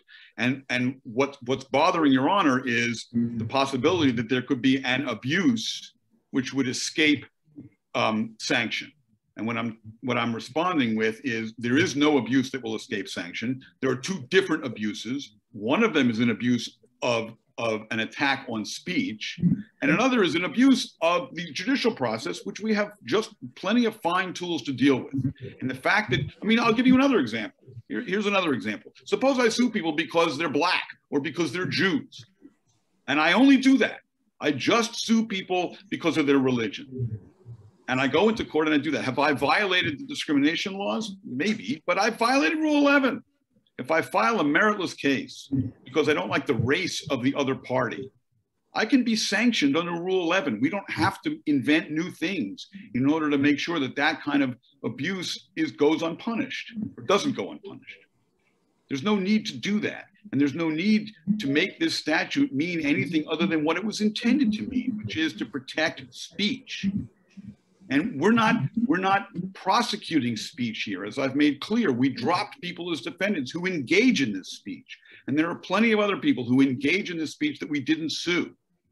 Mr. Marcus, you're you're not asking us though to limit any slaps that limit the application of special motions to dismiss under the anti-SLAPP statute to certain causes of action, like defamation claims, right? I mean, no, Uh, no, I think the example that I, I forget which of the which member of the panel asked, but if I brought a breach of fiduciary duty claim, which is not a defamation claim, but I brought it because I said you spoke, and that constituted a breach of fiduciary duty. I agree, I agreed before. That would be a violation. That would be reachable under the SLAPP Act because the basis for the claim, the bad thing that I said you did that gave rise to the claim for relief was speech. And whenever that's true, I agree that the SLAPP Act can reach it. But that's not what these people have been sued for. We didn't say you spoke and therefore you owe us money. Your speech constituted the act which gives rise to the claim. And I think the, the, the earlier case that, that the court has been asking. The claim is, let's focus again on the rises from. Uh -huh. Suppose the claim is you spoke, we opposed it. Because we opposed it, you punished us. Well, then I think then I think you then all you're really saying is I'm punishing you because of the speech that you made in response. Which uh, I agree. If the claim for relief is you spoke, I mean, put it the other way. Uh, my clients, which they didn't, and some of them actually don't have a position on the on the Arab-Israeli conflict. They just don't like academic boycotts. But suppose one of them made a made a a, a, a public statement and and somebody else in the in the ASA made a response and said he's wrong. Uh, Israel's bad, or, or academic boycotts are good, or some other thing, and we sued them for that statement. Yes, I agree. That would be reachable, regardless of what we called it, whether we called it a breach of fiduciary duty or uh, I don't know what. Uh, but if we sued it and if we sued them and said the thing which you did wrong, which gave rise to the claim, was words coming out of your mouth. That's reachable under SLAPP, regardless of what you call it. But if it's taking money out of a bank account, it's not. If it's counting votes wrong, it's not. If it's freezing voter rolls, where where you, we have email traffic, where they actually sit there and say, "No, let's freeze the voting roll on this day," because that's the day when we can maximize the number of votes in our favor and minimize the number of votes against us. That's not about speech. That's plain old abuse of, of corporate governance rules. It would be no different if it happened outside of this context. Now, Mr. Marcus, let's switch gears for a moment and consider the question of the 2nd mm -hmm. uh, prong of the anti-SLAPP uh, statute. The appellants um, argue that uh, the trial court erred by um, failing to consider um, the likelihood of success on a claim by claim, defendant by defendant um, met, uh, basis, and that um, the plaintiffs um, failed in their duty to present evidence to support and, and show that, that their uh, claims uh, had a likelihood of success. Want to speak to that? I certainly do. So this panel uh, is astonishingly well prepared as it is, and it's a joy to talk to such a panel. Um, uh, has the great good fortune of not having lived with this case for the last five years, and so you do not know that the defendant. I hope that's true for the next five years as well. Yeah. Okay. the defendants in this case have have I won't say abused because it's not this court's problem to decide if it's abuse or not. But suffice it to say that virtually every document produced in this case was marked confidential, and they have attempted in every forum and at every step to prevent us from using those materials. Most recent and relevant of these incidents is that they fought like the Dickens to prevent us from even filing the redacted complaint in court, even under seal. They didn't want Judge Rigsby to see it. And they fought like heck to prevent us from being able to show these materials to the court. So the idea that they now stand here and say, oh, you guys should have put in the emails and you should have put in the, put in the documents, which we would, they threatened us with sanctions for filing the complaint just filing a pleading in court under seal. And they threatened us with sanctions for that. So if we had the temerity to actually take all these documents, which we obviously have, they haven't denied the, the accuracy of a single one of these quotations. We got their emails in discovery. We have the deposition transcripts. We have the financial records. We have it all. And it's all marked confidential if we had had the temerity to say, oh, we want to file this stuff in court so the court can see it, uh, uh, the screaming would have been heard in California. I mean, saying, well, wait a minute. I, this is a little hard to imagine. Are you saying that if you had made the evidentiary showing that you claim you could make to establish that there's a likelihood of success on the merits on these claims, mm. and if you had made that showing by filing the documents under seal,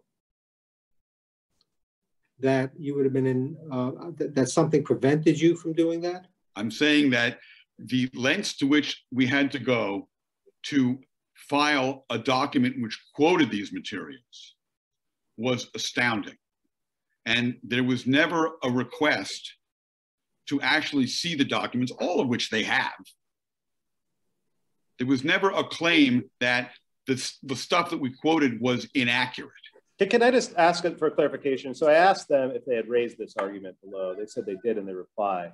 Um, and do you take issue with that? That they said in their reply? No, I, I, I, I the evidence. It, I, I thought I don't have time to go check. That's okay. I haven't. I, I don't i am happy to look at it myself. I, okay. You, know, you have a recollection? I, I, I, do not. I do not okay. have a recollection, but I do have a recollection of this: that when we were in court arguing the motion to dismiss, the defendants wanted to close the courtroom to prevent us from even using the unredacted complaint. They wouldn't let, and as I said, we wanted to, we filed a motion for leave to file the unredacted complaint under seal. The only people who would have seen it were Judge Rigsby and the court personnel, and they opposed that.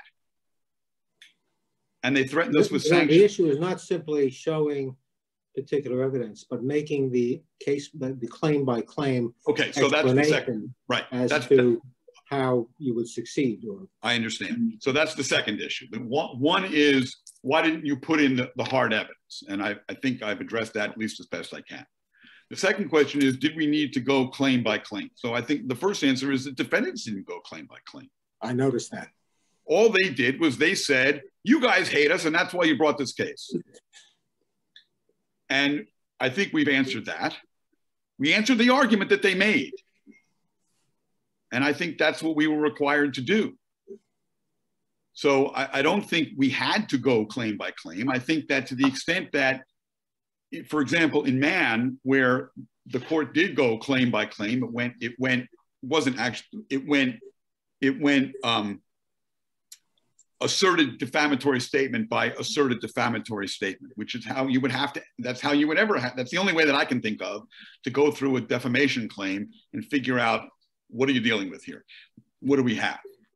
But part of the problem with going claim by claim, and this also relates to the problem of what does it mean to succeed on the merits, is that if you're talking about a claim which is not about speech, it's not a claim that the defendant spoke and therefore owes me money, but it is instead a claim that the defendants took money out of the bank account, or they froze voter rolls, or they tortiously interfered with a contract, or they decided to close down a journal rather than leave somebody running it who took a position they didn't want. And by the way, that's important for two reasons. One reason it's important, and there was some suggestion that, oh, it's just a journal. It's not really an important part of the organization. There are five officers of the American Studies Association. One of them is the editor of that journal. And that means that the person who's in that position is in a position of very substantial power, and they have substantial rights, including the right to bring derivative claims. And defendants decided that they wanted Dr. Professor Bronner out of that position for reasons that we explain in the complaint have nothing to do with the merits of his capacity as an editor and have nothing to do with their desire to replace him with somebody else because they didn't replace him with anybody else. They have nobody else. One, one related question to the arises from inquiry that we pressed you on a lot mm-hmm. is when I hear your answers, what it sounds to me like is you think you can tell by looking at the complaint, by looking at whether or not a, a speech act is really being targeted uh, by the claim itself. What's a little troubling for me with that interpretation is the statute speaks in terms of making a prima facie case of the claim arising out of a speech act. Now, if it's true that you can tell by looking at it, if you can tell by the nature of the claim itself, you would think a prima facie case would, there's no difference between a prima facie case and a perfectly legally adequate case. There would never be a chance to revisit that later because you could tell it all just by looking at the complaint. Whereas if it's a factual inquiry about what's really, um, you know, the impetus, the, the substantial link between the speech and the claim, you might think a prima facie case could be undermined by later evidence. But, but the way you pitch it doesn't seem like there's a difference between prima facie case and an ultimate legal conclusion. Do you, I mean, that was convoluted. So I forgive you if you uh, I'm not. I'm not. I think I might understand the question, but if Your Honor wouldn't mind, I, I, think uh, just to boil it down, by virtue of saying that the first question is whether or not there's a prima facie case mm -hmm. of whether or not the claim arises from a speech act, seems at odds with your view that you can tell definitively from the nature of the claim itself whether or not it arises from a speech. speech. Oh, because prima facie some... case sounds like something that might be undermined by later evidence or factual development. But your very claim focused uh, approach doesn't seem like a prima facie case um, could ever later be undermined by it. If, if that makes I, sense. I hear, I hear, I hear the point, uh, and I respect it. I, I, think my answer would be this. I, it seems to me what's going on with this statute, out of a desire to protect speech, is that the court is saying excuse me, the, the DC Council is saying you have to make this showing. It may not ultimately be the world's most definitive showing, but if there's a substantial chance that the claim actually arises out of speech. I mean, take our example of take our example of the breach of fiduciary duty because you wrote an editorial. Okay, and suppose that the the uh, uh, an officer of a company writes an editorial. You know, officers of companies are writing a lot of editorials these days and saying a lot of things about issues of public importance. And suppose somebody comes along and says, Mr. President of Coca-Cola, you shouldn't be talking about that. You should be making fuzzy drinks and not talking about anything else. And it's a breach of fiduciary duty for you to be doing that. Now, is that a question of speech Well, yeah, maybe he's gonna he's gonna argue that it's part of his it's it, he's well within the business judgment rule by deciding that he wants to talk about that, and that it's important for his company to talk about that, and that there are employee relations reasons and and all kinds of other reasons for talking about it. So I think what the legislature is saying here is, if it looks like it's a, there's a really good chance that that's what's going on, then we have to move to prong two. And I don't think there's anything wrong with that, and I don't think it undermines the argument that I'm making. And I also, I also think there will be problems the other way, right? I think that we also have a right to go to court. Everybody has, we have a right to petition. We have a right to present a claim in court. That's a First Amendment right too. And I think if the argument is, well, you really don't have that right because we know you're only doing it because you hate those guys. That's going to give rise to problems in the other direction, which would also have a constitutional dimension to them, as was suggested, I think, in one of the one of the amicus briefs. So I think that what the court is doing here is it's really taking a, a, a selection of, of standards from Rule 11, from Rule 56, from Rule 12, and it's saying cases that are about speech, that is to say, cases where what's being litigated is the speech, are of special concern to us. And so we're going to create these rules which, by the way, are rules where a claim could survive 12b6 and still fail SLAPP, or it could succeed under SLAPP and fail under 12b6, as, as the cases that we cite say, because this is a unique inquiry. It's a special animal. And it's a special animal that exists because the court, excuse me, the legislature wants to protect speech, but it also understands that there are limitations on how you can do that. And so it's created this process. And I don't think that undermines the argument that I've been making about what is the claim really about? What is the claim really about doesn't mean what really is animating these people for bringing that claim. Um, One final question before you sit down, if I may, on another area. Please. There's been some discussion about whether um, hard to cap encapsulate this in one sentence, but the interrelationship between grounds to dismiss under Rule 12b6 and um, likelihood of success on, on mm -hmm. the mm-hmm. merits. Right. Um, do you want to speak briefly to yes. uh, your position on that sure. um, issue? I, I want to speak. I'll try to make it brief. Um, we've cited a line of cases, uh, most prominently the Hilton case, but also the Park case in, in the DC in, in the DC courts, um, which make clear that um, the 12b6 inquiry and the SLAPP inquiry are are separate inquiries. And when you when you think about, I think this court's decision in Mann, where the court really engaged in an act of of very careful creation in talking about what is what is the um, likelihood of success. What does that mean? And it fashioned a standard that was unique for SLAPP. And it did that trying to balance all of the considerations that the SLAPP statute mandates courts consider. And it created a standard which is unique. That's what the court said, and it is unique. It's not just could you get to a jury? It's not just does it state a claim. It's a unique set of facts focused on speech, the speech which is at the center of the case, the speech which is said to give rise to the claim, the speech which is wrongful and whose wrongfulness means the defendant owes the plaintiff money. And that was the question.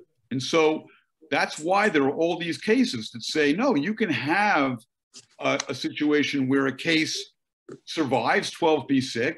It states a claim, but it's still going to fail under SLAPP. And you can have a case where it fails under 12b6, but survives SLAPP. I do think that um, the inquiry is complicated. I'm sorry?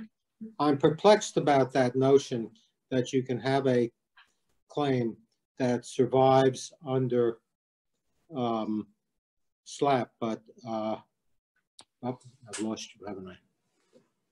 Hello? There you are. Did I freeze for a minute? You That's because the battery on my iPad is is uh, down oh, to ten percent. Um, the the uh, um, I mean, imagine a case in which, well, for example, take this case in which the defendants say, uh, look, um, you can't win your defamation claim against us or whatever no. because um, we have immunity, statutory immunity, or because of collateral estoppel uh, defenses, or because the statute of limitations is passed, your claim is completely untimely, and you have no basis to get around that time bar. Um, just as a matter of logic, it seems hard to say that anything but that the plaintiffs can't show a likelihood of success on the merits under those circumstances. I, I, think I think that the inquiry that the court is being asked to make under SLAPP is different, and that's why the timing of these motions is different. A motion to dismiss is due before a SLAPP motion. Motion to dismiss is due 21 days after complaint is filed. The SLAPP motion is due 45 days after complaint is filed. And I think that in the same way that you could have an abusive process claim, which is separate from a, uh, a 12b6 claim, where the question is, has the, has the party done something abusive? I mean, the statute of limitations example, I think is a good example. I blow the statute by a day. Okay, I, I, I'm out of court. But that's not the same as being, as being, um, uh, as having committed an abusive process because the inquiry is different. And I think the inquiry under SLAPP is, and the court said this in Mann, is this a case that wasn't brought to be won? And you could have a case that wasn't brought to be won, even if it failed under 12b6, because the plaintiff did his best. I mean, a, a, a, a very good example is present in this case. We brought claims in 2016 in federal court. They sat there for three years, and finally, Judge Contreras decided to throw them out. And then we walked across the street and filed them in state court. And the defendant said, "Oh, look at that! Ha ha ha! A time, you're, you're, you're, the statute's blown, and you should have known when you filed in 2016 that you were in the wrong place, even though Judge Contreras wrote two opinions in which he refused to throw us out on, on a mounting controversy requirement. So, okay, finally he changes his mind and we're in court, and we're in court here, and we lose on the statute. Now, do I think, would I concede that even though we lose, assuming he's right, Judge Rigsby, which I don't think he was, but for present purposes, that's where we are. We've lost on, on statute limitations grounds. Does, do I think that means that we violated the SLAPP Act? That that means that we only brought these claims because we were trying to silence people? It didn't mean that when we filed them in federal court across the street three years ago. So we refiled them. We refiled them now, literally five weeks after we were thrown out of federal court. We were in state court. We just had to reformulate the complaint and file. Can it be that the same claim in that circumstance, which, assuming Judge Rigsby is right, the statute's blown. So we're not able to establish a claim on the merits. We failed. Can it be that that suddenly becomes a claim that is a, an effort to suppress speech, a claim that we brought knowing that we had no intention of litigating it to judgment. We just did this to afflict the defendants. How can that possibly be right? It can't be right.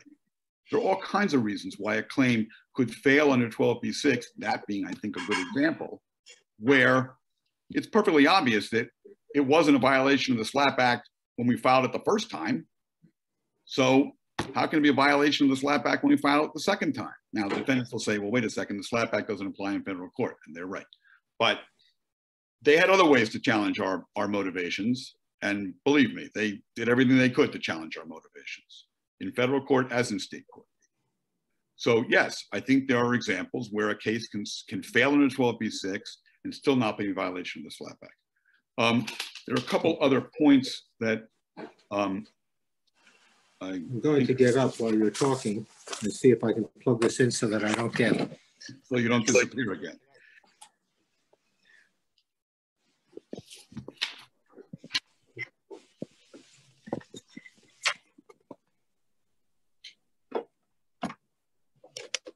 Um, I don't know if the court wants to hear me on uh, the the merits of these claims. We we do we do believe that the merits of the claim, the merits arguments just want to wait. Go ahead. Okay. Thank We do believe that the merits arguments are not properly before this court. This is an appeal of the SLAPP Act decision, and it can't be that every time a SLAPP Act motion is denied, along with a 12b6 motion, that defendants get to bring the whole case, excuse me, yeah, the defendants get to bring the whole case up to the Court of Appeals. That can't be right. Um, because it would defeat the entire purpose of creating a special appeal, which this court did in Mann, to address the issues unique to the SLAPP Act uh, statute and its procedure. What the defendants are saying is, what that means is every 12b6 motion that gets denied is immediately appealable if there's a SLAPP Act, if there's a SLAPP motion alongside it. And that, that just can't be right. That's not what the court said in Mann. That's not what the appeal that was created by Mann was created to do. Um, having said that, um, the defendants have suggested that uh, Professor Salaita or other people were only sued for speaking. It's just not so. If you read the complaint, it's absolutely clear. These people were sued for engaging in substantive acts of um, uh, hands in the cookie jar, approving hands in the cookie jar. Professor Salaita was on the board when um, bylaws were changed without notice to the membership to permit larger withdrawals of money, and that money was used to fund the defendant's hobby. Uh, that's that's a hand in the cookie jar claim, Your Honor. That's not uh, he said something we don't like claim. Uh, the same for Professors Puar um, and, and, the other individual defendants who have who have uh, whose lawyers have spoken here. The Volunteer Protection Act does not apply um, when willful action is alleged. The statute does not require that the willful action target an individual. If you read the statute, it's clear there's a comma and it's talking about willful action or action that targets an individual. It's not willful action that targets an individual. Two courts have rejected that argument now. Uh, and as I say, it's not properly before the court, but if it is, it should be rejected just as the other two courts have rejected. Um, I don't have anything else. If the panel has more questions, I'm happy to answer them. Otherwise, I'll be quiet.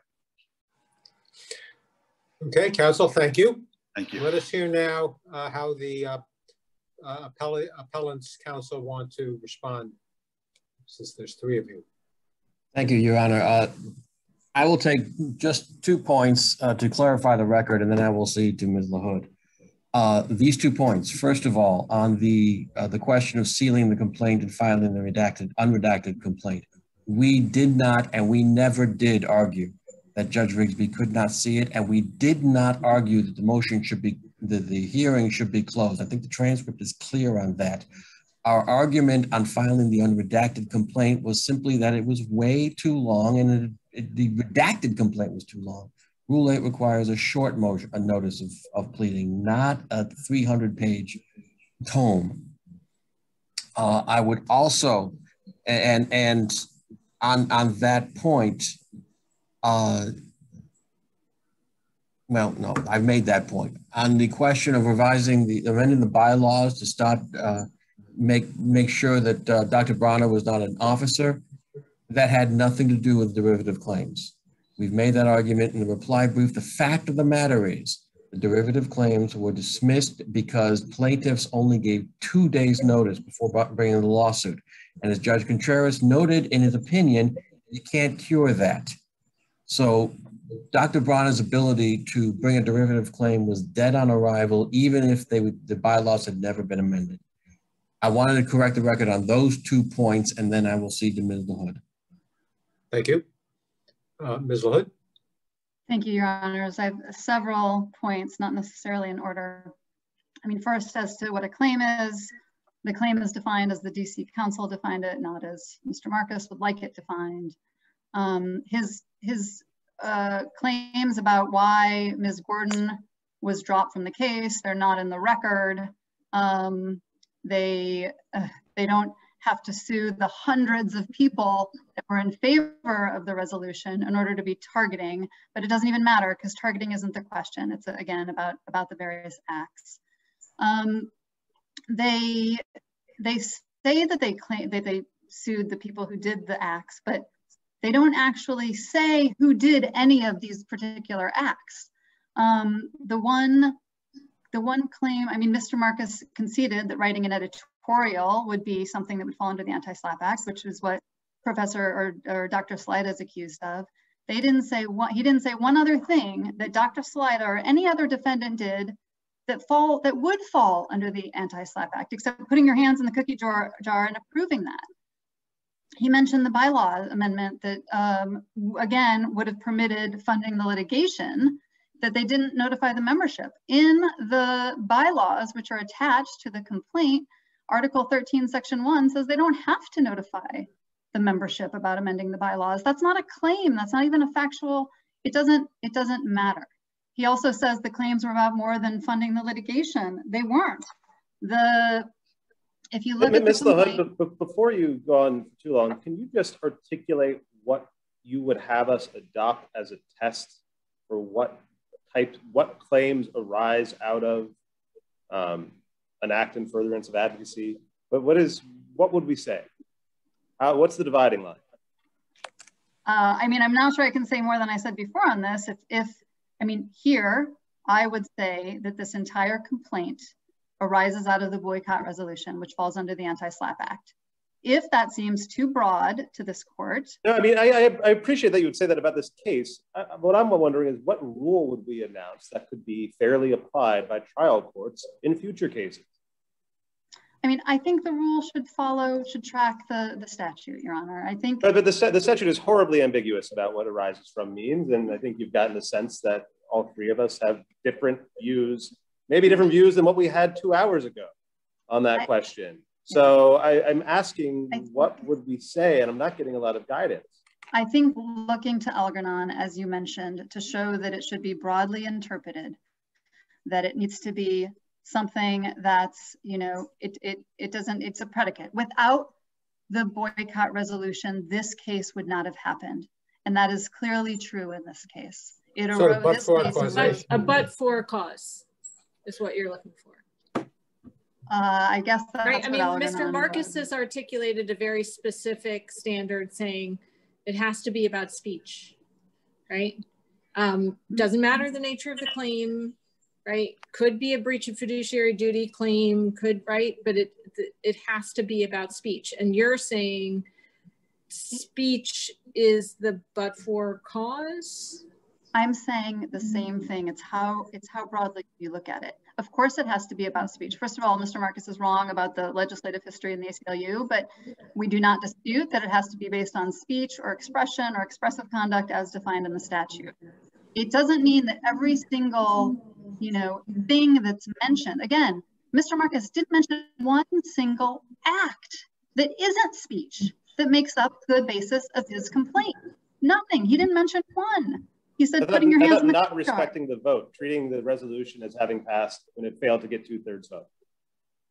Like so, so, so that claim is not against Dr. Salaita and it is, a, it is a statute of limitations problem, and I'm dealing with all the ones that are actually. But assume. Current, but Okay. I mean, it just seems like you're kind of not helping us draw lines. So I know. think if you look to the the actual, if you look at the breakdown, the elements of a claim and the factual allegations that support them, I think, you know, I think the California, what the California court have done is actually struck all factual allegations that fall under the statute. So anything that is, you know, speech or expressive conduct that would um, support this, and I think that's what they've done. Can you give an allegation? Can you give an example of an allegation in the complaint here that you would say the California Supreme Court would strike because it's about speech, or or whatever test they apply? I I think every single allegation which should be struck because it's about speech. Because again, I haven't heard what's not about speech. I, I, guess there was the example you just gave, which was, again, I'm sorry, that's not, it's not an account I've, I've dealt with, but about, um, and, and, you know, the, I feel like we're going back to the same argument, but it, it is in connection with an issue of public interest. It's in connection with the policy dispute about about Palestine and Israel, right? I, I think was the was the question. I'm sorry, was the question about not, well, that's not what, sharing that's, information? Okay, I mean that's a very broad definition. That you're saying that any cause of action that has a connection with uh, an act of speech is um, is fair game for the anti-SLAPP motion to dismiss. Not That's, even just about speech, but about a public policy debate writ large. As I mean, I've said, the act, the, the statute has to apply. The, the factual allegations underlying the claims, if they fall under the Anti-SLAPP Act, it applies. So I, I, I'm trying hard to think of something in the complaint where it would not apply because the allegations against the defendants are, again, I just gave the, the amended the bylaws. Okay, maybe, I don't know, uh, amending bylaws generally might not fall under. Here, the allegation is that they amended bylaws so that they could take out money to fund litigation. I and my reaction to that, Ms. LaHood, that's a good example because the problem I have, and I want you to address it, is um, that it may be the case that amending bylaws to enable yourselves to fund litigation uh, is protected by the First Amendment or is speech in some sense, but it, I, that is not an act of public, ad, it does not fall within the definition that um, the statute gives of an act of public advocacy. Uh, um, and that is my uh, concern here. I, I read that definition as applying, the only thing that that definition applies to in this case that I'm aware of and that I thought was being argued was the resolution. And so a claim, uh, a claim based on falsity in the resolution or misuse of the resolution in some sense, or um, the speaker didn't have the authority to make to give to um, declare that resolution. Those are claims I think I can see as arising from the resolution. But I don't know that um, the example you just gave of amending the bylaws in order to uh, make funds available so that they could, you know, uh, issue the resolution and defend the resolution um, falls within that category. Uh, Your Honor, it might be a close call. The thing is, is you can put lots of allegations that aren't material to the claim into the complaint. Here, amending the bylaws is immaterial because on the face of the complaint, they did not need to notify the membership. Again, Article 13, Section 1 of the bylaws. It's immaterial that they amended the, that they didn't notify the members. So what? They amended the complaint. It's not a material basis of the actual claim whatever that claim that is, fiduciary duty breach or whatever they brought it under. Well, so may maybe be wrong. test I mean, is, I mean, the claim may or may not have merit, but it, but the question is different. The question is whether it is the kind of claim that um, uh, is is meant to be protected under the Anti-SLAPP Act.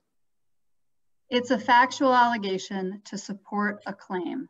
And, and I guess what the court could suggest is that if you look to what are the what are the factual allegations that support a claim? Do those factual allegations fall under the Anti-SLAPP Act? If they do, the anti-SLAPP, you know, the, the act applies and then you see, was there evidence to show that it's likely to move forward or not? And, and, I, and again, that's, that's why I asked you earlier, give me an example of a factual allegation in this complaint, a specific example of one that um, I guess the words you use fall fall under the um, uh, anti-SLAPP Act. That's what I gave previously, Your Honor. The ones, the the funding of litigation falls under the Anti-SLAPP Act. The okay, there I don't I don't understand that. To be honest. I'm also confused. It it sounds like you're saying, okay, let's look at a claim, and we don't have to look at the facts that are material to the claim, we look at the facts that aren't material to the claim, and those facts can make something an anti-SLAPP suit. Is that? Uh, you look to whatever facts the plaintiffs allege support their claim. They may, you may say, but that doesn't support the claim. So it's still an anti-SLAPP act just because the plaintiffs did a poor job showing, uh, alleging things, the facts to support their claims doesn't bring it out from underneath the Anti-SLAPP Act, the factual allegations are speech or expressive conduct that fall under the Anti-SLAPP statute. But, but they're non-material facts to their claim. right? They I mean, can the, be the plaintiffs, in order. The plaintiffs are there saying this doesn't have anything to do with our claim.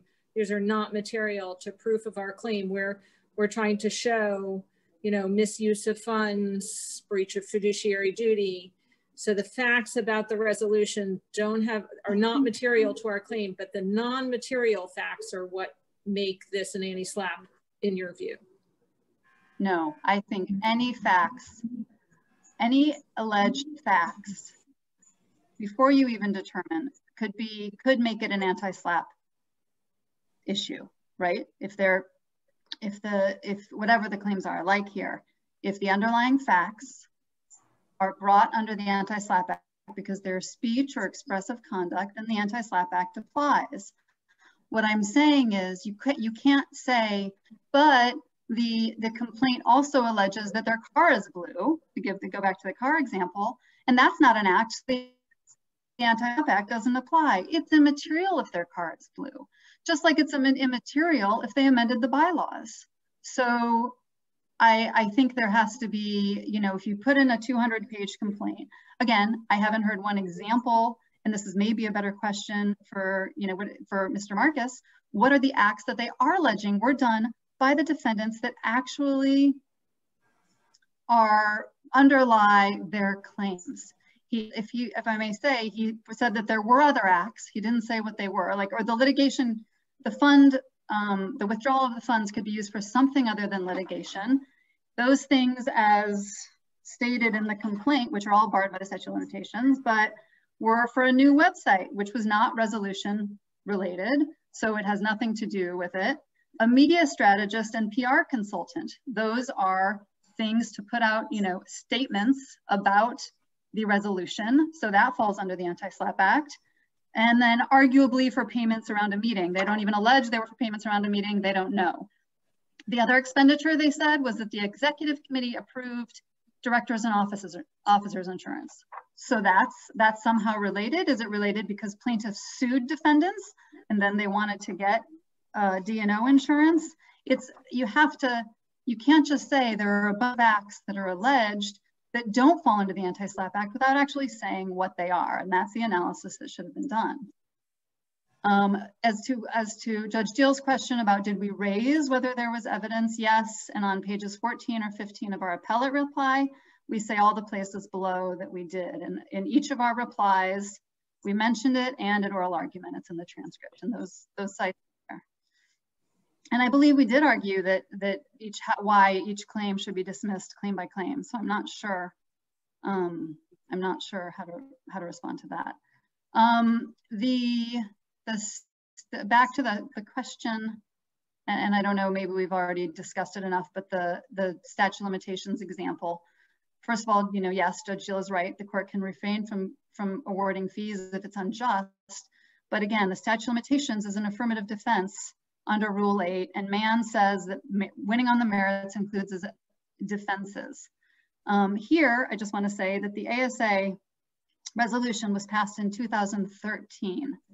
Plaintiffs didn't bring suit until 2016. That was after the DC Circuit decided that the Anti-SLAPP Act didn't apply in federal court. So it was their choice, choice of forum to go to the federal court. Uh, I, I understand procedural arguments might not fall under the Anti-SLAPP Act. That's why we didn't, frankly, uh, appeal the personal jurisdiction argument by Judge Rigsby, which was wrong, but I, I think probably could be considered procedural.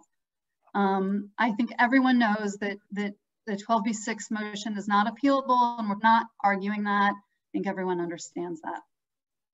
The First Amendment right to petition point, the DC Council balanced that right with the First Amendment right to speak out on an issue of public interest and the court and Mann upheld the statute's confidentiality. The plaintiffs have the burden here of, of, of, providing evidence, and on the first prong, it is not onerous, as, as several courts have found. Uh, just to repeat again, the purpose of the Anti-SLAPP Act, it's to fend off suits exactly like this one, exactly where one side is trying to punish the other side in a public policy debate, even if they can come up with a hundred and you know whatever pages um, of supposed allegations, but when you get to their core, the core of the allegations, the actual facts, they are they fall under the Anti-SLAPP Act. They should be dismissed. Thank you, Your Honor. Okay, thank you. Mr. Kleiman, are you uh, batting cleanup here or no? Oh, okay, you're, you're muted, so we can't hear you. You're still muted, so we can't hear you. Yeah. You don't know he's how. Not, he's, he's, saying, not gonna, he's no. not talking. um, well, uh, we will take the case as submitted. And thank, thank you, you all for a very interesting and extensive uh, argument. Um, we, you, you are excused and um, you may log off. Thank you. This honorable court, this honorable court is now adjourned.